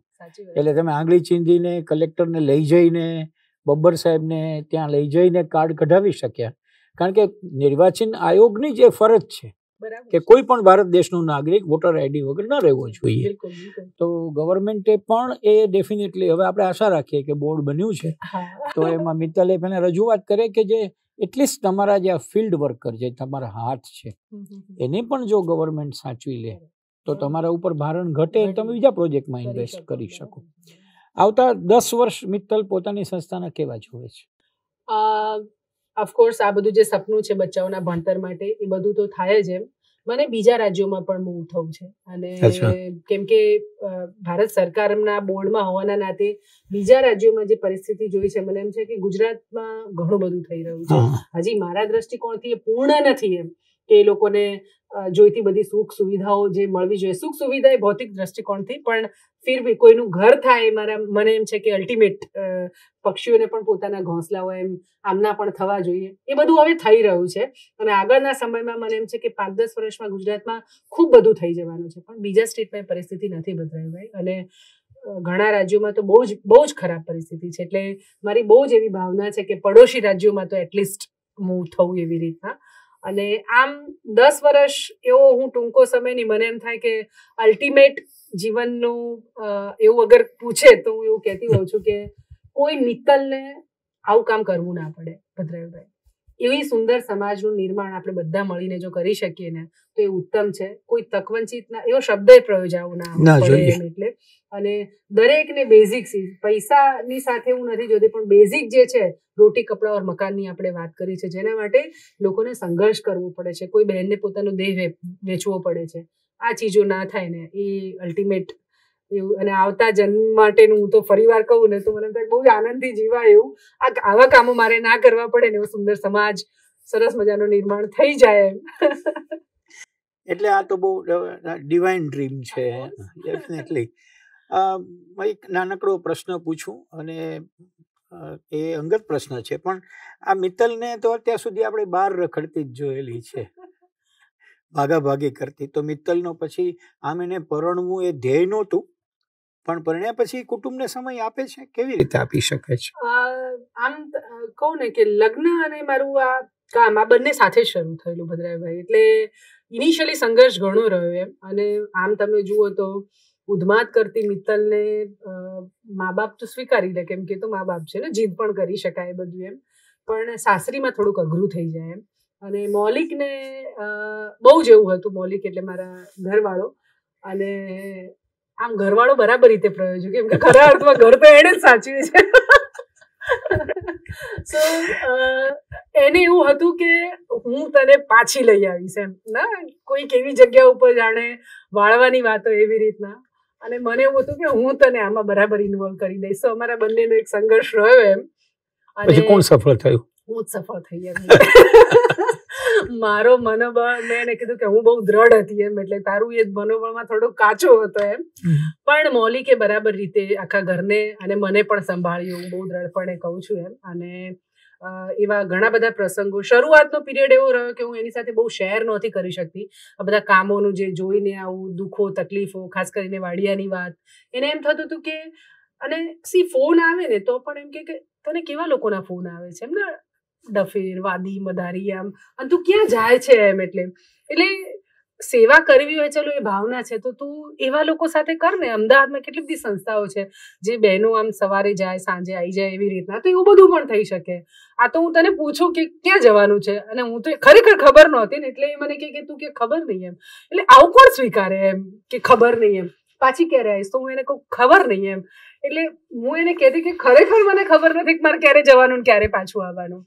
પણ એને આ ફ્રીડ એટલે મારી એ ભાવનાને એણે કોશિશ બહુ કરી એમ પણ એણે મને રિસ્ટ્રિક્ટ નહીં કરી હું ફરી વાર કહીશ એટલે અને ક્યાંક બીજી એક ચીજ બહુ અગત્યની છે હંમેશા બહુ બધી જગ્યાએ મને લોકો પૂછે કે મૌલિકે તમને ફ્રીડમ આપી એવી રીતના અથવા એટલે એટલે મેં કીધું આપી અને બીજું એવું છે કે તમે એટલે હું આપી અથવા તમે આ કરી શક્યા. હું એવું કહું છું કે સંઘર્ષ તો બંનેની વચમાં રહ્યો. એણે પણ પૂરો પ્રયત્ન કર્યો મેં પણ કર્યો. પણ અગેઇન આપણા ત્યાં કમ્યુનિકેશન નથી થતું એમ. અને એ પ્રોપર બંને એકબીજા સાથે પોતાની ભાવનાઓ વ્યક્ત નથી કરતા ને એટલે આ બધા પ્રશ્નો બીજું એવું પણ છે કે સ્ત્રીવાદી એટલે મને એમ થાય કે સ્ત્રીવાદી હોવું એટલે શું એમ? એની ડેફિનેશન નથી હોતી. હું સ્ત્રી છું એટલે મને મારો ઘરવાળો આવું નથી કરવા દેતો કે આવું. મને એવું નહીં લાગ્યું કોઈ દિવસ. મને એમ થયું કે કદાચ એ મને પૂછે છે અથવા એ મને ના પડે છે તો એની પાછળ બેકગ્રાઉન્ડમાં કદાચ મારી ચિંતા હોઈ શકે ને એરીએ કે ખરેખર તું રાત્રે કયા જીપમાં જાય છે કેમાં આવે છે કઈ? અને આમ જુઓ ને તો એ મને જે રીતના હું ટ્રાવેલ કરતી હતી ને એ જુઓ ને તો એને એને એમ થાય કે તારે ખરેખર શું મેળવવું છે તું આવું આ દુઃખ જાતે વહોરે છે. મમ્મી પપ્પાએ કહ્યું હતું કે આપણી પાસે છે. તો દરિદ્ર શું કામ કામ રહેવું એમ? એટલે એની ભાવના બરાબર હતી. પણ અમારી બંને વચ્ચે સંઘર્ષ બહુ જ બધા થયા એમ. એટલે મને એક વખત તો બરા અને ફેમિલીમાં સી મમ્મી, પપ્પા એટલે સાસુ સસરાના પર્સપેક્ટિવથી પણ કોઈને પણ એવું થાય ને કે વહુ આવે તો ઘરમાં અમુક શાંતિ મળે એમને એ આવે ત્યારે. અને મારા કિસ્સામાં તો એવું હતું જ નહીં. એમને મારા માટે ઉભડક જીવે બેસવું પડે એવું. અને એક છેલ્લી વાત એને હું કરું કે મને એક દિવસ બરાબર યાદ છે કે આમ હું જુઠ્ઠું બહુ બોલી છું મલિક પાસેથી. મેં એના પોકેટમાંથી પૈસા બી ઢગલો ચોર્યા છે. પણ લકીલી ભગવાન જે બધું ગોઠવે છે ને, એટલે તમને વારે વારે થશે કે આ છોકરી કેમ આની? પણ એ એણે બધું બહાર વ્યવસ્થિત ગોઠવી આપ્યું. વિરોધ બહુ હતો. મને થતું હતું કે આ બધું હું કેવી રીતે કરી શકીશ એમ. ત્યાં જ મૌલિકની ફિલ્ડ પોસ્ટિંગ આવી. એટલે મને તો મજા પડી ગઈ. સોમવારે એ એના ફિલ્ડમાં જાય અને હું સોમવારે છ વાગે નીકળે અને હું આઠ વાગે નીકળું એમ. અને એ જનરલી શુક્રવારે પાછો આવે. હું ગુરુવારે આવી જાઉં અથવા શુક્રવાર બપોર સુધી આવી જવાનું. પછી મારું આખું ઘર એવું રાબેતા મુજબ કે હું અઠવાડિયાથી ઘરમાં જતી એવી રીતના એમ. એને ખબર પડી જાય, પણ છતાંય સાયલેન્ટ રહેતો. એક વખત એવું થયું કે ગુરુવારે આવી ગયા અને રાત્રે બાર વાગે મેં આમ આવી અને મેં જોયું કે દરવાજો ઘરનો ખુલ્લો છે લોક નથી એમ. સો મારી જાતને પ્રિપેર કરી કે આજે તો હવે બધું જે છે અહીંયા થઈ જ જવાનું છે. બેલ માર્યો. મને હતું જ કે નહીં જ ખોલે એમ, એટલે એ ખોલે નહીં. બધું આ નહીં ખોલે તો શું? ના, એ બધી ચીજો. બે ત્રણ વખત બેલ માર્યો. ફાઇનલી એવું હતું કે નહીં જ ખોલે લકીલી એને ખોલ્યું. અને ત્યાં ઊભા ઊભા જ એણે મને કીધું, એકદમ ગુસ્સા સાથે, આજે આપણે બે નક્કી કરી લઈએ કે હું કે ત્યારે વિચરતી જાતી એવી રીતના. એમ. મેં બહુ જ આમ એની સામે પ્રેમથી જોયું, પણ અગેન હું કહું છું કે ડાયલોગના ઝઘડો ત્યારે પણ થઈ શક્યો હોય મેં એને એટલું કીધું કે, જો, મને તો તમે બે એટલા બધા પ્રિય છો ને ઓપ્શન તારી પાસે છે. ચૂઝ કરવું એ તારી પાસે છે. એમ કરીને કશું જ બોલ્યા વગર એણે આમ હાથ રાખ્યો તો હું નીચે થઈ અને જઈને મારા બેડ પર ચૂપચાપ કશું જ બોલ્યા વગર સુઈ સુઈ ગઈ એમ. ત્રણ દિવસ સુધી એ નહીં બોલ્યો. મેં પણ ત્રણ દિવસ સુધી આ વાતને નહીં ઉકેલી એમ. ચોથા દિવસે એણે થોડુંક પ્રેમથી કીધું મેં પણ પછી બહુ પ્રેમથી સમજાવ્યું. પણ પૂજ્ય મોરારી બાપુની રામકથા બે હજાર અગિયારની બાપુની કથા પછી મૌલિકે મને એક પણ વખત માટે આ પ્રશ્ન નથી પૂછ્યો. અને અત્યારે કદાચ મારા કરતાં પણ વધારે ઇન્વોલ્વ એ છે જેમ કે આજે રજા છે તો મૌલિક આખું ઓફિસનું મારું બેકસાઇડ ઓફિસ મેનેજમેન્ટ આખું એ કમ્પ્લીટલી એ જોઈ રહ્યો છે. અને નેક્સ્ટ યર એ વીઆરએસ લઈ રહ્યો છે બીકોઝ એ મને વધારે હેલ્પ કરી શકે. તો આ ધીરજ એમ. ના લગ્ન જીવનમાં આ પણ કથા વખતે તો મને એમ છે કે તું પ્રેગ્નન્ટ હતી. હા મારી આઠમો મહિનો મારો સાતમો મહિનો એ વખતે અને મારી દીકરી પણ એટલી જ એટલે એડજસ્ટ થઈ. કદાચ એ બંને મને તક આપી ને નહીં તો મારો ઘર સંસાર જનરલી આ એવું છે કે જે મેં કામ પસંદ કર્યું હતું કા ઘર સંસાર ટકે કે મારું આ કામ ટકે તો આવી પરિસ્થિતિ પણ કિયારા પણ એટલી જ નાની એ પણ મને સમજી. આમ જનરલી એવું કહેતી હોય છે કે દીકરી જન્મે પછી બચ્ચું જન્મે પછી સવા મહિના સુધી માં ખાટલો સંભાળીને બેસે. મેં નહીં સંભાળ્યો. સત્તરમા દિવસે હું એને મૂકીને દિલ્હી ગયેલી. આ સમુદાય માટે યુપીએ ગવર્મેન્ટે શું કરવું એના માટે એક કમિટી બનાવેલી ને એમાં આખા ભારતમાંથી બે જ લોકોને એમને ઇન્વાઇટ કરેલા. એમાં એક હું હતી એમ એટલે. સો મને થયું કે મૌલિક એ વખતે મને કીધું કે તારે જવું જોઈએ કેમ કે તું વર્ષોથી આના માટે મથતી હતી એના માટે. સો તમે જુઓ કે આખી પરિસ્થિતિ જે મૌલિકે રસ્તો રોક્યો રોક્યો તો. એણે જ કીધું કે તું જા એમ. અને બસ પછી તો મારી દીકરીને લઈને મેં બહુ ટ્રાવેલ કર્યા. અઢારમાં દિવસથી જે મારી સાથે ફિલ્ડમાં ફરતી આઈ થિંક સાડા ત્રણ ચાર લાખથી વધારે કિલોમીટર મારી સાથે ફરી હશે એમ. અને બે હવે એકદમ મસ્ત રીતે સાથે. એટલું તો ખરું ને આટલા સંવાદ પછી મિત્તલ એવું લાગે છે કે નસીબદાર તો મિત્તલ બહુ છે. ઈચ્છા થાય ત્યારે છોડી શકે છે ઈચ્છા થાય ત્યારે ગુટકો મારીને ક્યાંક જતી રહે છે. સ્પોર્ટ્સમાં થી સાયન્સમાં જાય છે ને સાયન્સમાંથી સેવામાં જાય છે ને સેવામાંથી શેરડીમાં જાય છે અને આટલા બધા કૂદકા હવે પર્યાવરણ સુધી જવાની વાત ભગવાનનો ભાગ કાઢવાનું પણ ન ભૂલે એવું એક કેરેક્ટર એટલે એટલું નસીબદાર આટલું બધું કોઈ હોતું નથી. હું એવું કહું છું કે હું ભગવાનની બહુ જ વાલું સંતાન છું સો જે સંકલ્પ કર્યો ને મેં કે આ સવારે તો એ કામ ભગવાન પોતાની મેળે ગોઠવે છે એટલે હું એની બહુ પ્રિય સંતાન છું. એટલે મારી માટે તો મને એમ લાગે ક્યારેક કે એને બધી વ્યવસ્થાઓ બરાબર ગોઠવી છે. એટલે એટલે આપણે એવી પણ પ્રાર્થના કરીએ કે આ પાંસરના જે પરિસરની વાત છે એ પણ ભગવાન ગોઠવી આપવાનો છે બરાબરનો. એના ઉપર મને પૂર્ણ વિશ્વાસ છે ભદ્રાભાઈ. જનરલી એવું થતું હોય છે ને કે આ હું હું કરું વાળો વાત આવતો હોય ને ત્યાં બધા પ્રોબ્લેમ થાય. મને મેં એક વખત માટે બહુ ભાર પણ રાખ્યો. મારું પહેલું મિસ કેરેજ થયું એમ એમાં એ ભાર હતો મને. મને મેં પોતે એવું માની લીધું હતું કે હાય હું માં બની જઈશ પછી આ બધાનું શું થશે? એટલે હું માં નહોતી બની એ સચ એમ. પણ વિચરતી જાતિઓની જાણે એક રીતે હું માં જ બની ગઈ હતી. એવો ભાર મેં પોતે જ વેંઢારી લીધો. ને હું હું થઈ ગઈ જે દિવસે મેં આ ચીજ મૂકીને મને એમ થયું કે, અરે, તું શું કરી રહ્યું છે? એમ ને, તું તું ક્યાં તું કરે છે? એમ.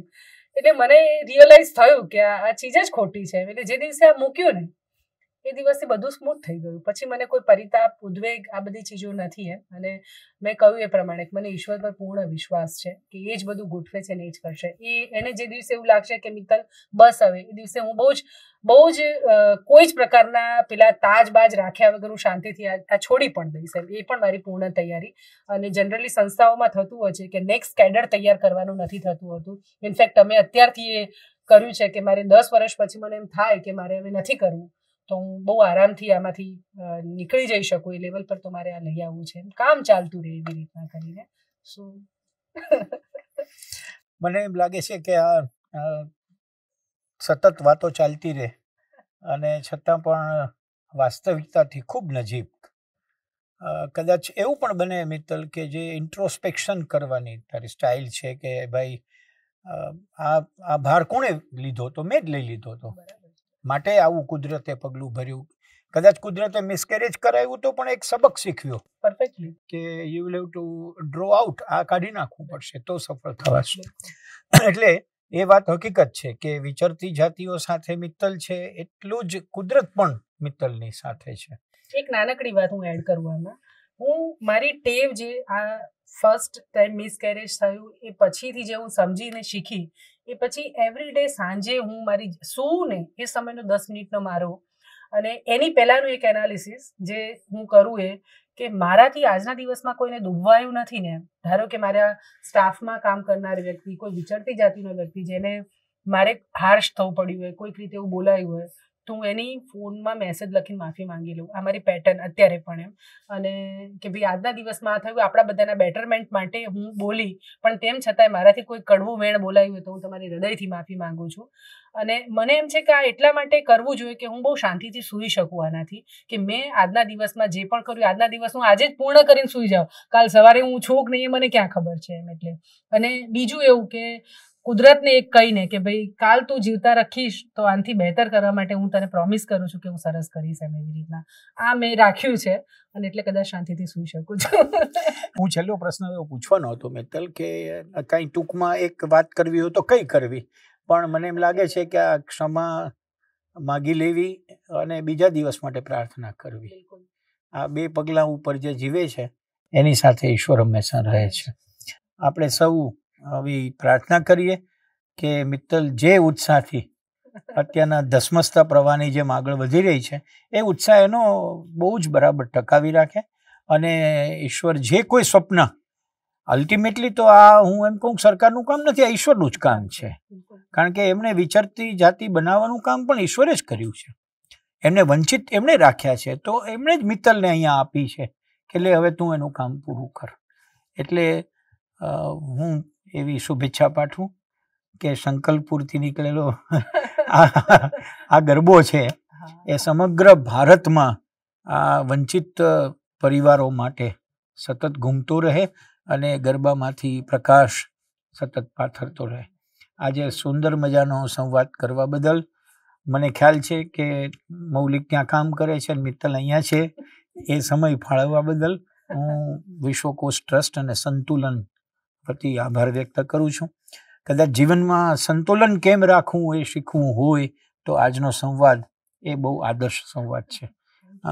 હું એમ આભાર માનું એમ તો નહીં કહું એ નહીં ગમે પણ બંને સંસ્થા વતી હું વીએસએસએમનો અને મિત્તલ પટેલનો અહોભાવ વ્યક્ત કરું છું. Thank you